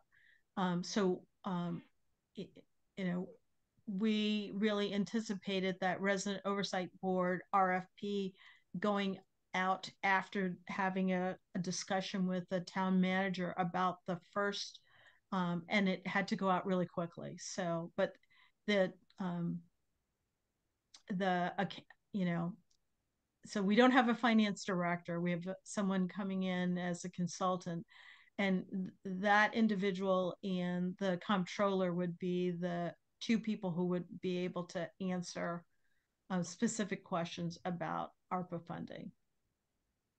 Thank you. Mhm. So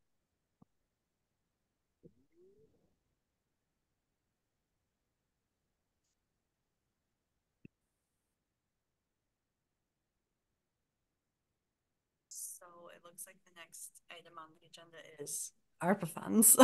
Um, So, um, you know, just to kind of say, I don't know, Pamela, Camille, obviously, I, I don't think we have any other questions for them, right? I don't think so. They want to head out because I know it's, it's a late night.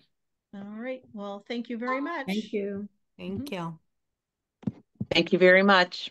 Thank you. Bye. Bye. I look forward to meeting you all. Us You as too. well.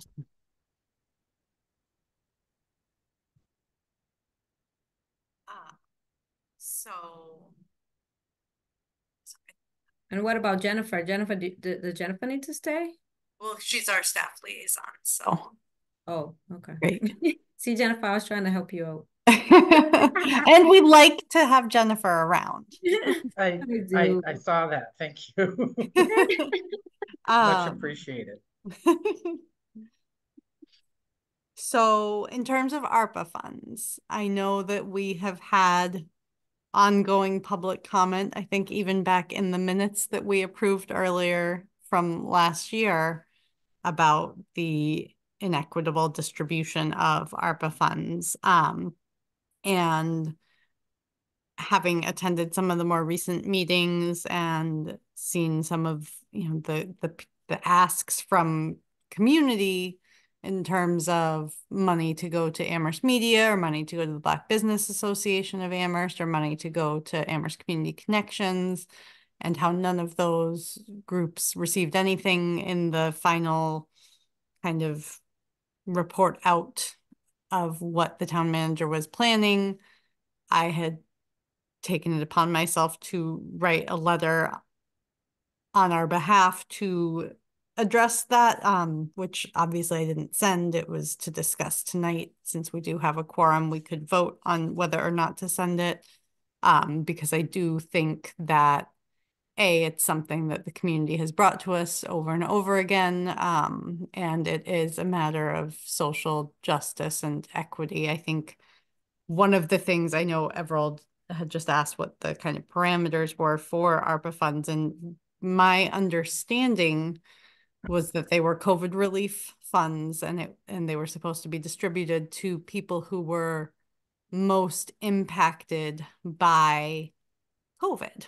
Um, and so obviously looking at all the research, there's you know, high risk medical groups, there's low income communities, and there's, you know, Black, Indigenous, Lat Latina people were all kind of in those categories of people who were more directly impacted. Um, so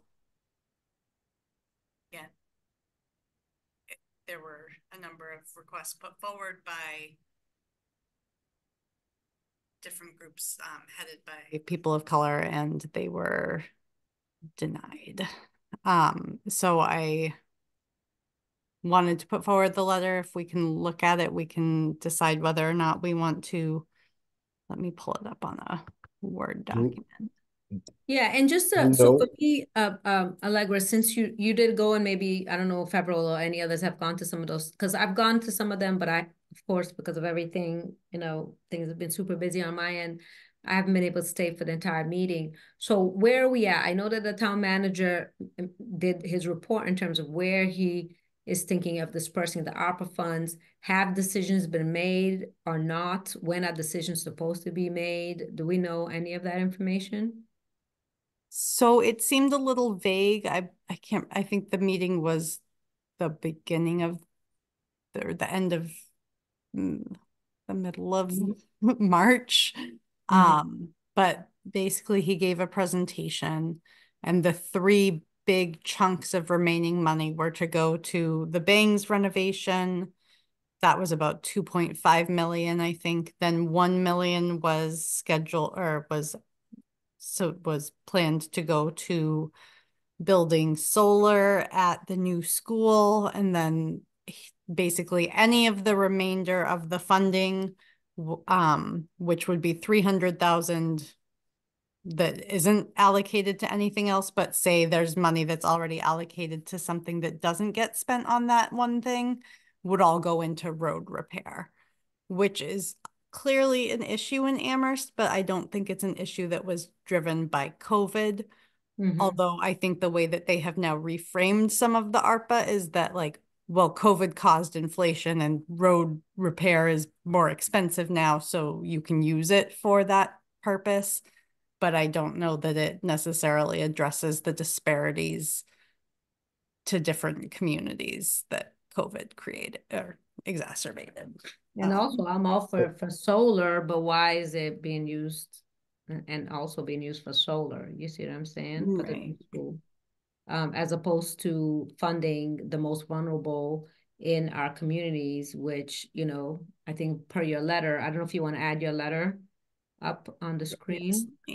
Um, I just you know, wanna, I really just want to ask, um, since I, because I, I think we've been hearing about this for a while. For the people that were denied, were they given reasons as to why they were denied? Not, not that I've been made aware of. Because I'm because I when I when I saw the agenda, I was doing some um research and mass.gov has a lot of information on ARPA funds. And there's an office of ins the inspector general that people can make complaints to. So I imagine if there is a process to do that, then if someone applies, they have to be given a reason as to why they were denied, and then they could voice concerns later on as to why they were denied. Well, Ev- Everald, as as far as I know, I know that um from BBAAA, they've they've uh, put in a a complaint. I'm not sure if it was to the same office that you're talking about, but I know there is a complaint right now um in regards to the distribution of ARPA funds. Um, so I think like those avenues are being utilized, but I don't know if there's any relief um happening. Okay.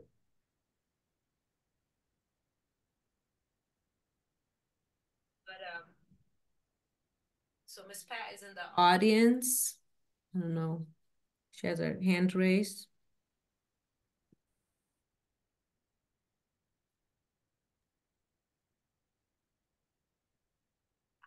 I am in screen share mode. I don't know how to make things happen.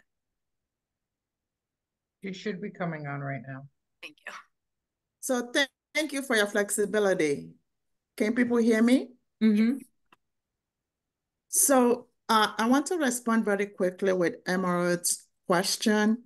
So with my group, BBAA, they were denied, some, some of my members that applied were denied for illegal reasons. They were told they applied late, even though there was still money left. The hair extension, um, MS extensions applied, and she was told that she applied late. We have some members who applied, they were told the only condition to get ARPA funds was to rent a storefront in Amherst, which is illegal. That's not what the ARPA funds uh, stated. That was also, as we all know, Hazel's. They applied on two categories. As new startup and existing, they were they were they were denied because they said they owed, uh, they are so much in debt that the ARPA funds will not help them. The same bid and chamber that denied Black-owned businesses, and our town gave um, Drake $300,000 that is run by the wealthiest, the most rich, richest uh, land developers in our town. So what our town did in conjunction with BID and MS and uh, the chamber was illegal by denying the most vulnerable that deserve the ARPA funds. And so my group is demanding a robust audit. Our town did, you know, distributed the ARPA funds on, on uh, inequitably. And in terms of what are the general use of ARPA funds, the main purpose was to help those most impacted by COVID, to help towns and cities who were impacted by COVID infrastructure. However, our, our town decided to make up their own rules. So this is not over yet. The scandal is going to be much larger nationwide because BBAA will keep pushing. We're not going to stop until the truth, everything is exposed. Thank you. Thank you, Ms. Pat.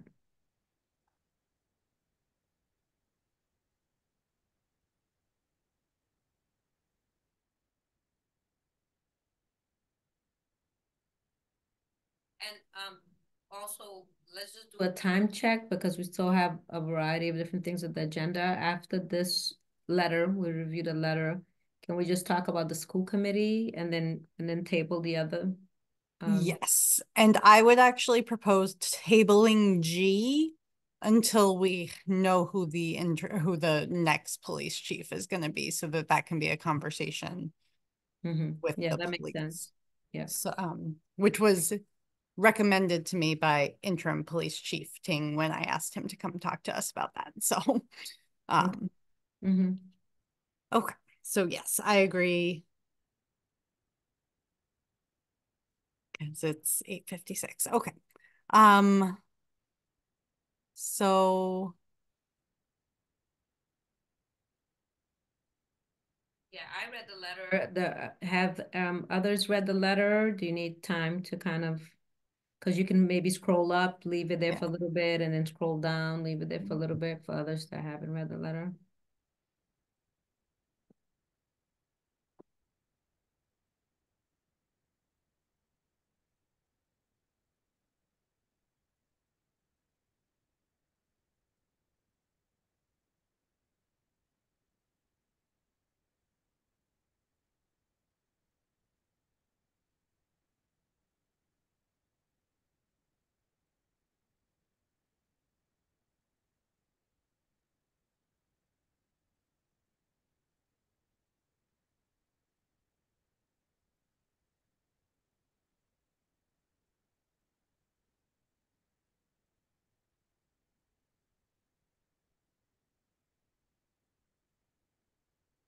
I think I would just add um Allegra Youth Empowerment Center and Multicultural Center too.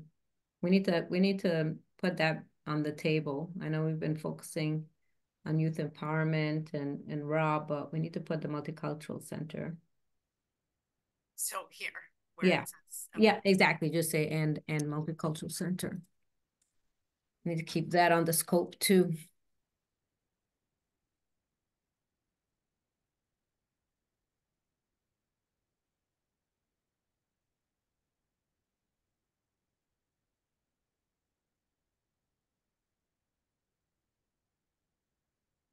Um, and just so people know that this was taken, the i'm pointing at it like you're sitting here with me, the, the, the bullet points were taken from the public comment that was submitted.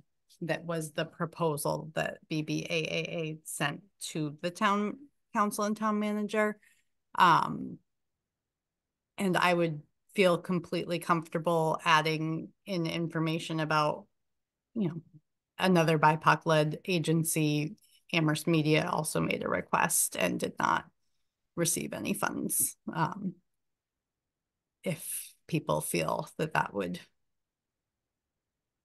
be important to add as well, because I know this is highlighting the Black Business Association, although they were shut out of the first round. Um, so there is, you know, something, this is something we've heard more regularly. I do think that the point about the other nonprofits were also told in the last round to apply for this round and then nothing, no funding went towards them is my understanding.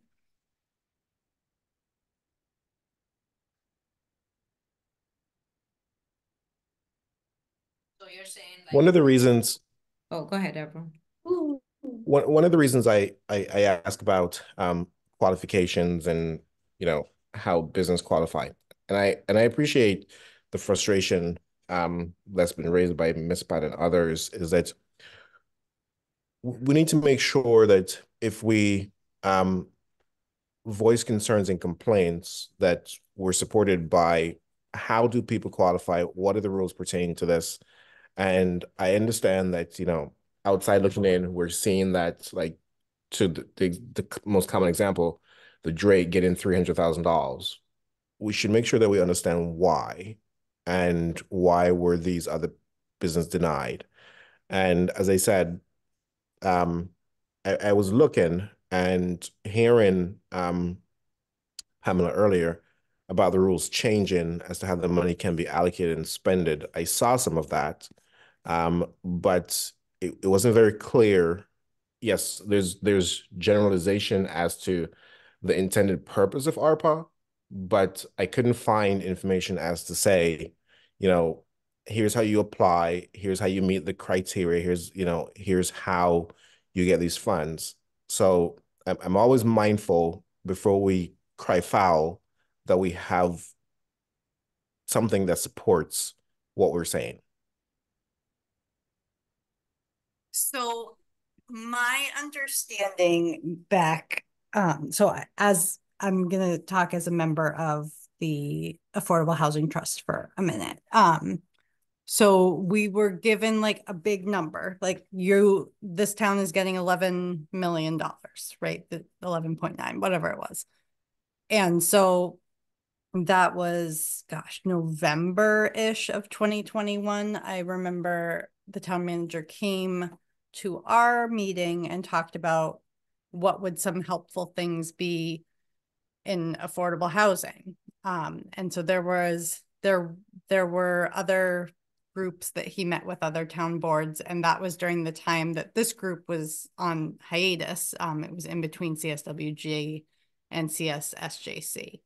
So he got a bunch of ideas and then, you know, kind of it's been there was a million set aside for the homeless, you know, trying to find a permanent location for a homeless shelter, which has been purchased the VF, the old VFW. And then there was a million set aside for affordable housing, which we didn't really have an accounting for up until last meeting and mon- much of that money has been spent already. Um, and it was spent to kind of help with some of the pre-development things related to some of the new um, developments that will be going up. Um, and I don't recall if that was exactly what was suggested to him or not, but it, it's it was basically it fit into one of the categories of housing, and I think there was, um, you know, public health was a category. There was some money that was allocated for, you know, giving essential workers like first responders some hazard pay during that period of time. Um, so there were some broad categories from the offset that were set up that the town had allocated different, you know, different sums of money to, and then kind of the details seemed to be up to the town manager. Um, but I, I just want to make sure I I'm hearing you correctly. So it is possible the town received $11 million and it is also possible that from that $11 million, none of that money went to a minority owned business. So the town received $11 million. There was a breakdown of the money spent for the for the small businesses and there was a category for existing businesses and and startup businesses.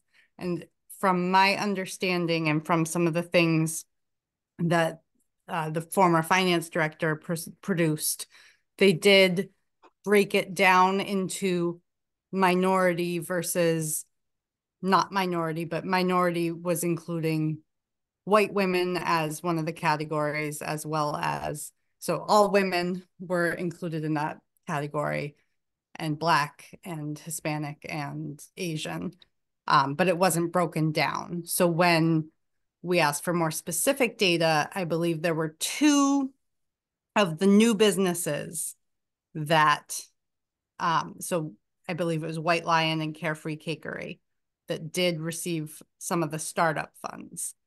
But then none of the pre-existing businesses owned by Black business owners in Amherst received funding um, that had applied. So. And and and and there was money allocated for pre-existing businesses. There was. So I believe that there were about a hundred thousand perhaps set aside for the business community, not including what the Drake was awarded. Okay. Th- That does add more clarity. I appreciate that. So I, I, I don't think it is unfounded to ask then questions as to um why none of this money went to any of these pre-existing black-owned businesses um or the Black-owned Business Association. I, I, I think it is um it is public money. Therefore, there should be um public transparency And so um, we should ask to say, um, you know, and I think we should have them tell us, like, what is the criteria for allocating, for distributing money to these businesses? And can you explain outside looking in, like an organization such as the Drake that is owned by, to Ms. Pat's previous comment, um, a wealthy developer receive such a large sum of money, but the businesses that are minority owned that are struggling didn't receive um, any such grant, you know, can you, you know, put um, pen to paper and say, this is the criteria and here's why you didn't qualify?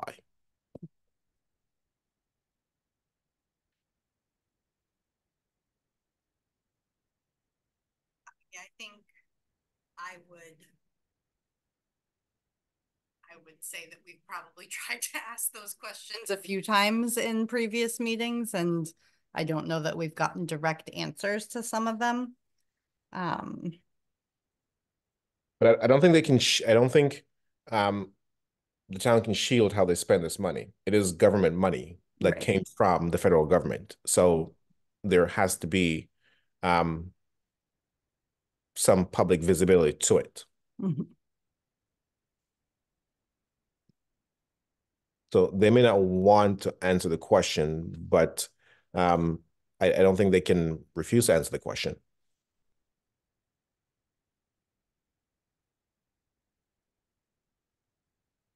So I think I know Deborah and I had talked about already trying to meet with Paul, and I think that again, having him kind of answer those questions would be helpful. I think it's important that it is that it also gets answered publicly.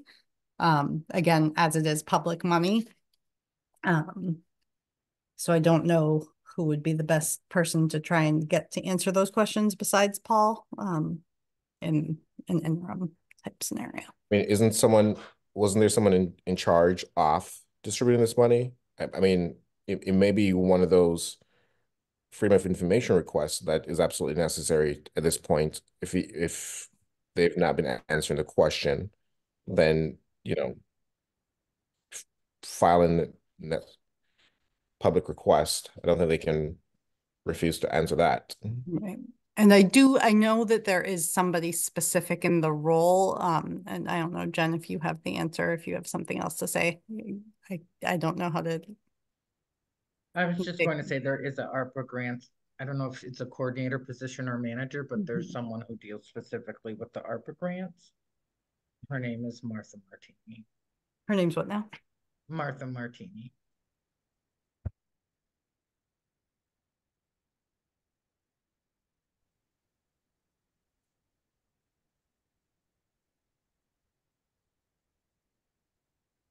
Um, So I mean, I, I, I get all that, but I still think it's important for us to, you know, even if we need to kind of tweak this letter, but I, I think we need to put something out publicly in regards to this. I mean, I, I, you know, Allegra and I are gonna meet, or at least scheduled to meet with the town manager. Who knows when he's actually going to set us up, you know, to actually meet with him. So, you know, time is, uh, time is ticking. Um, and this has been going on for a very long time.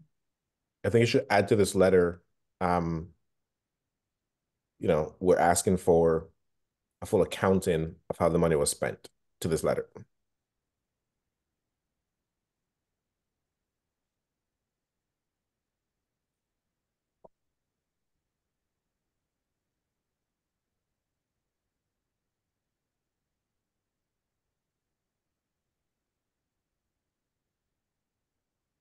I'm gonna, if I may tweak it and just say it How it has um impacted the most vulnerable communities, because I think that that's, or uh, if that's okay, because I kind of, I, that's kind of the lens that I'm coming at it from is some of the things, it doesn't seem like, I mean, roads are nice, but again, Yeah, I was gonna say, I think if you do that, then a lot of it can be rolled into, well, we spent a million dollars to do this or million to do that. But if we ask for a full accounting, then we actually get like line items. Right.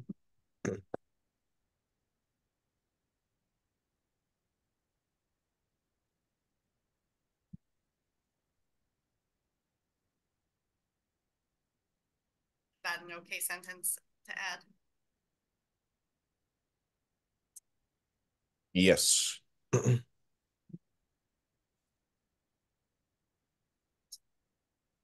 And so I just, to your, to clarify a little further, because I know um this, the Black Business Association of the Amherst area is a five oh one C three, and so they've put together a presentation or a, the proposal that they put together was so that they would get the funding and some similar to what BID I think was able to do for the current communities, like help their members through the payments and then help the community who comes to their members through additional support. Um, so I think that this is not just to say that the individual businesses need the the support, but also the the collaborative that is the Black Business Association has a plan to work together as a community. Um, does that make sense? It does. I feel like it's getting late and my brain's getting fried. I apologize.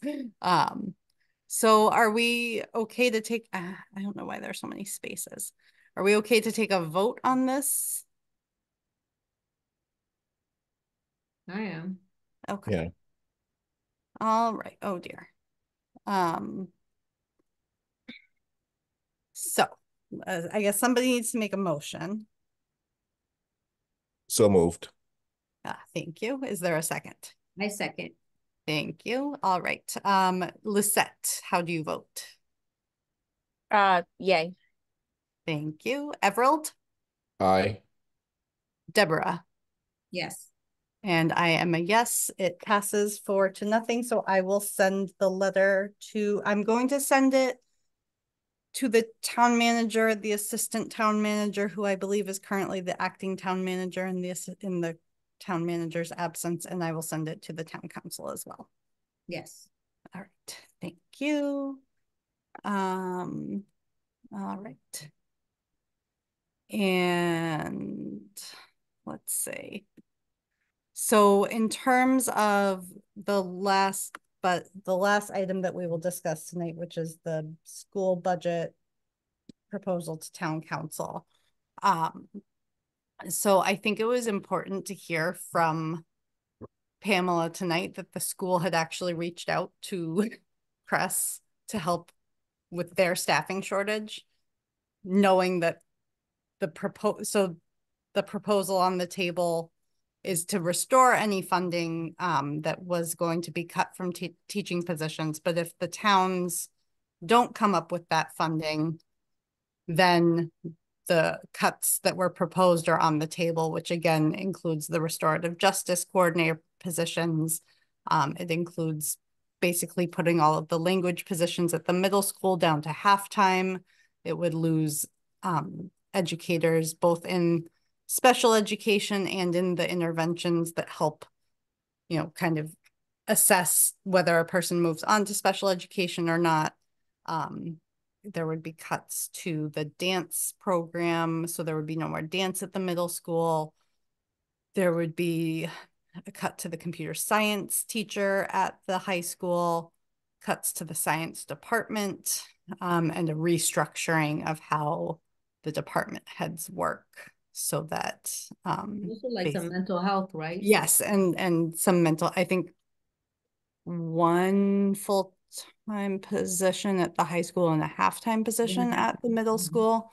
Yeah. Um, so it it amounts to ten percent of their staff would be cut um if the if the if the town of Amherst and then the three surrounding towns that are part of the regional district do not find additional funding to help the schools or do not rearrange their own budgets to so I think hearing again, just hearing that CRESS is being used to do things because the school's already understaffed, it really drives home the point to me that like this is again an issue of safety in the schools because the kids don't have all the support staff that they need to kind of safely move through their days. Um, and it's an issue of social justice because a lot of the positions, well, especially the restorative justice positions are were made to address the discipline disparities that were going on between white youth and black and brown youth in the schools. So again, that would be concerning if those positions are taken away, what will happen in the disciplinary tract for people. And just, I mean, they're already struggling so much. I just don't know how much more they can struggle. It's very concerning. Um, and these are our kids, you know, and where else are they going to go? We don't have a youth center for them yet. So what, what else is going to support them? Um, so that's my spiel. I don't know, uh, Deborah, if you had anything you wanted to add. I mean, I think you covered everything pretty well. I mean, this was really just an opportunity for us to say publicly that you know the the the regional um, school committee did the right thing. I mean, obviously there was an outpouring of um, community, um, you know, just calling in, showing up, and saying that for them not to uh, put it put ahead that proposal that would have cut those positions um, and that the positions really go towards really impacting besides of course a lot of other positions too but the the, the students that are most vulnerable within our school system um, and there's been cuts already happening because I, like I said last time, you know, my older son was able to take a lot more classes than my my younger son that now is in the middle school, right? So there's already been cuts, and so they're continuing to make cuts, and and this is not okay. It's not okay that our schools continue to always have to kind of beg and plead to keep critical staff in place um, especially as as I was saying in terms of being a BIPOC person and then having the only um, you know, black male at the high school who's doing an excellent job in the restorative justice position, then be cut, right? When there are not a lot of black males within our entire school system. You know, there was one other one that my son came across in the middle school, and then he was terminated, and then now he's a para, I believe, in the middle school. Um, and so it, that's not okay. You know, that's not okay that that excellent BIPOC teachers are expendable.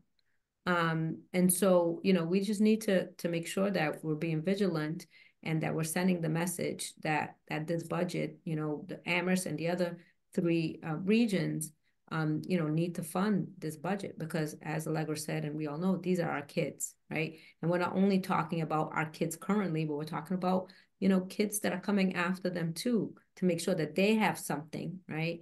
In, in, in the school system. We're trying to make sure that we stabilize the school system so that, you know, kids that are here now and kids that have come before and kids that have come afterwards get a great education as which is one of the things that Amherst is kind of known for, right? Is its public education.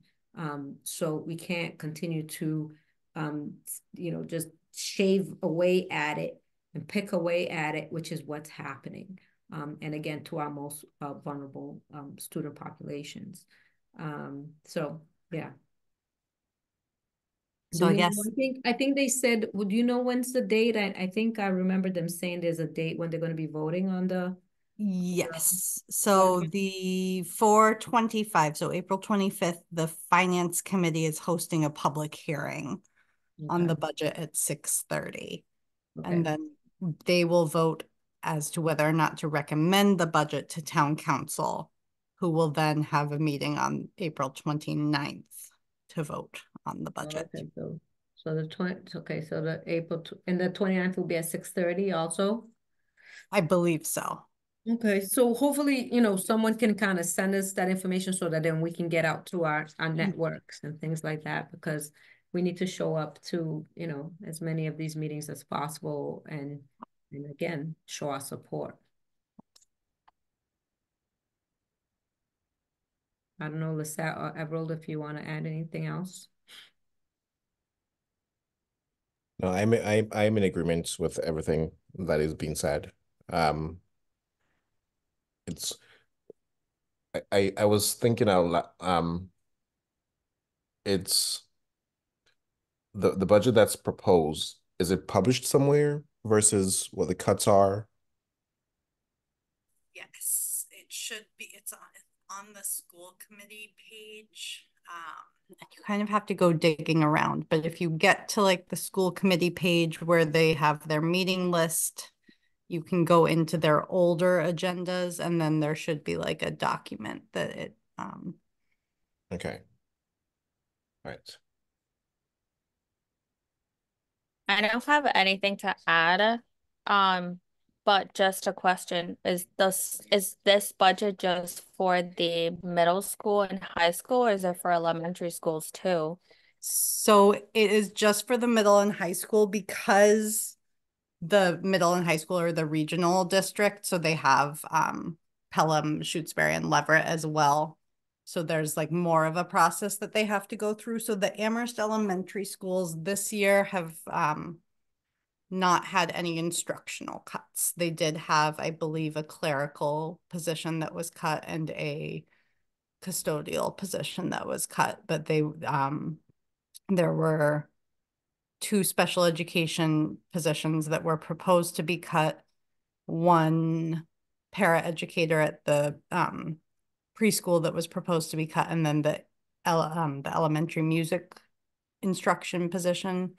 One of them was slated to be cut, but then after the initial budget was proposed, uh, more money came forward from the state. I think they raised the raised the number that they were funding per pupil or something. So it, it actually ended up being enough to cover all of the positions that that were teaching positions that were planning to be cut. So that is like a glimmer of good news, but um, obviously it's still there are a lot of children who could be affected by that big cut at the at the middle and high school level. So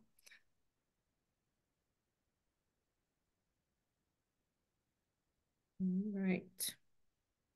Okay, we can keep moving things right along. moving right along. All right, we are not talking about anything else tonight. We do we do have a have public um our second public comment period. I don't know if anybody else wants to make comment. There are only two members of the public remaining.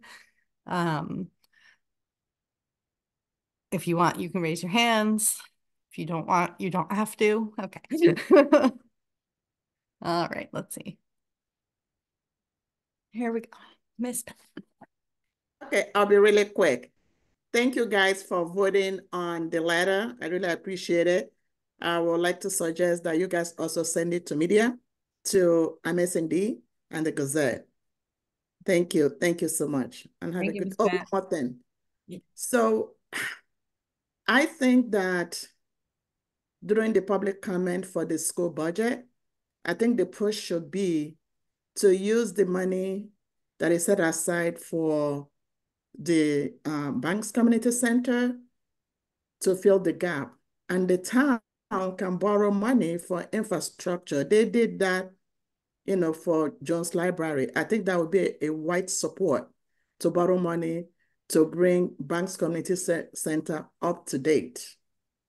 And also the Biden administration infrastructure bill, you know, there are other places that money, you know, could come from to upgrade uh, Bangs Community Center. So let's push for that. You know, use that money, you know, towards restoring uh, positions this year. And let's worry about next year. Thank you. Thank you, Miss Pat. Thank you, Ms. Pat. Um, we had Brianna as an attendee and I thought she had raised her hand and now she appears to not be here. No, I don't think she raised her hand. She Okay. wasn't. the, yeah. Okay, so I think that that's all for public comment. Um, so our next meeting will be May eighth at six thirty. Um, so obviously we have our usual CRESS DEI updates, uh, uh, Rob Youth Empowerment.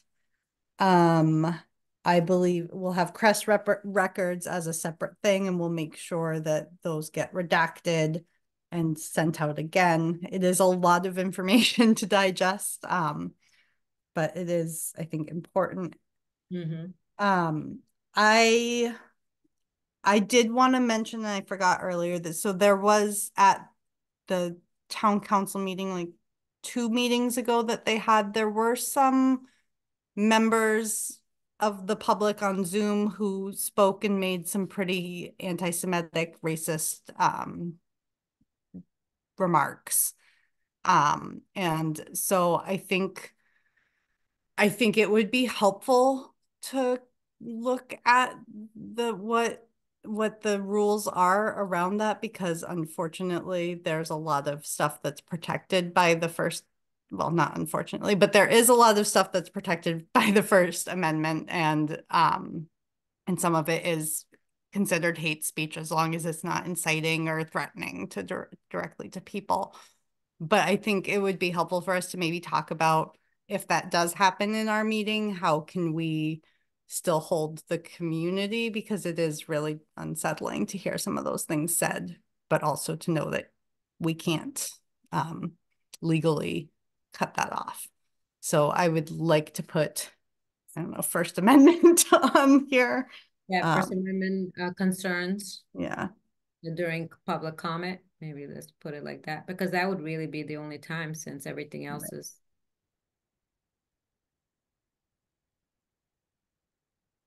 I don't know, um, Jen. If, if there's, if somebody in the town manager's office or town council, like, cause I think they had to get an opinion from council. I don't know if that's something, maybe I can ask, reach out to them and just say like, as a board who might come into contact with this, we'd like guidance. Does that seem reasonable? Yeah. Okay. Alright, um. And Then um, we'll, we'll still keep the civil rights complaints and holding future town forums on. yes. And hopefully the future town forums we can actually get to next time, because I think if we just try and set some Mhm. projected dates and places, that could not take up too much time, but the actual planning for them might take more. Yeah. Um, okay. Anything else? Well, in that case, it's nine twenty-nine and I am going to adjourn this meeting. I second and third it. All All right. right, Thank you, guys. Have a good night. thank Thank you. you. Thank You you all. Nice to Bye, see good night. you all. Good Bye. Bye. Bye.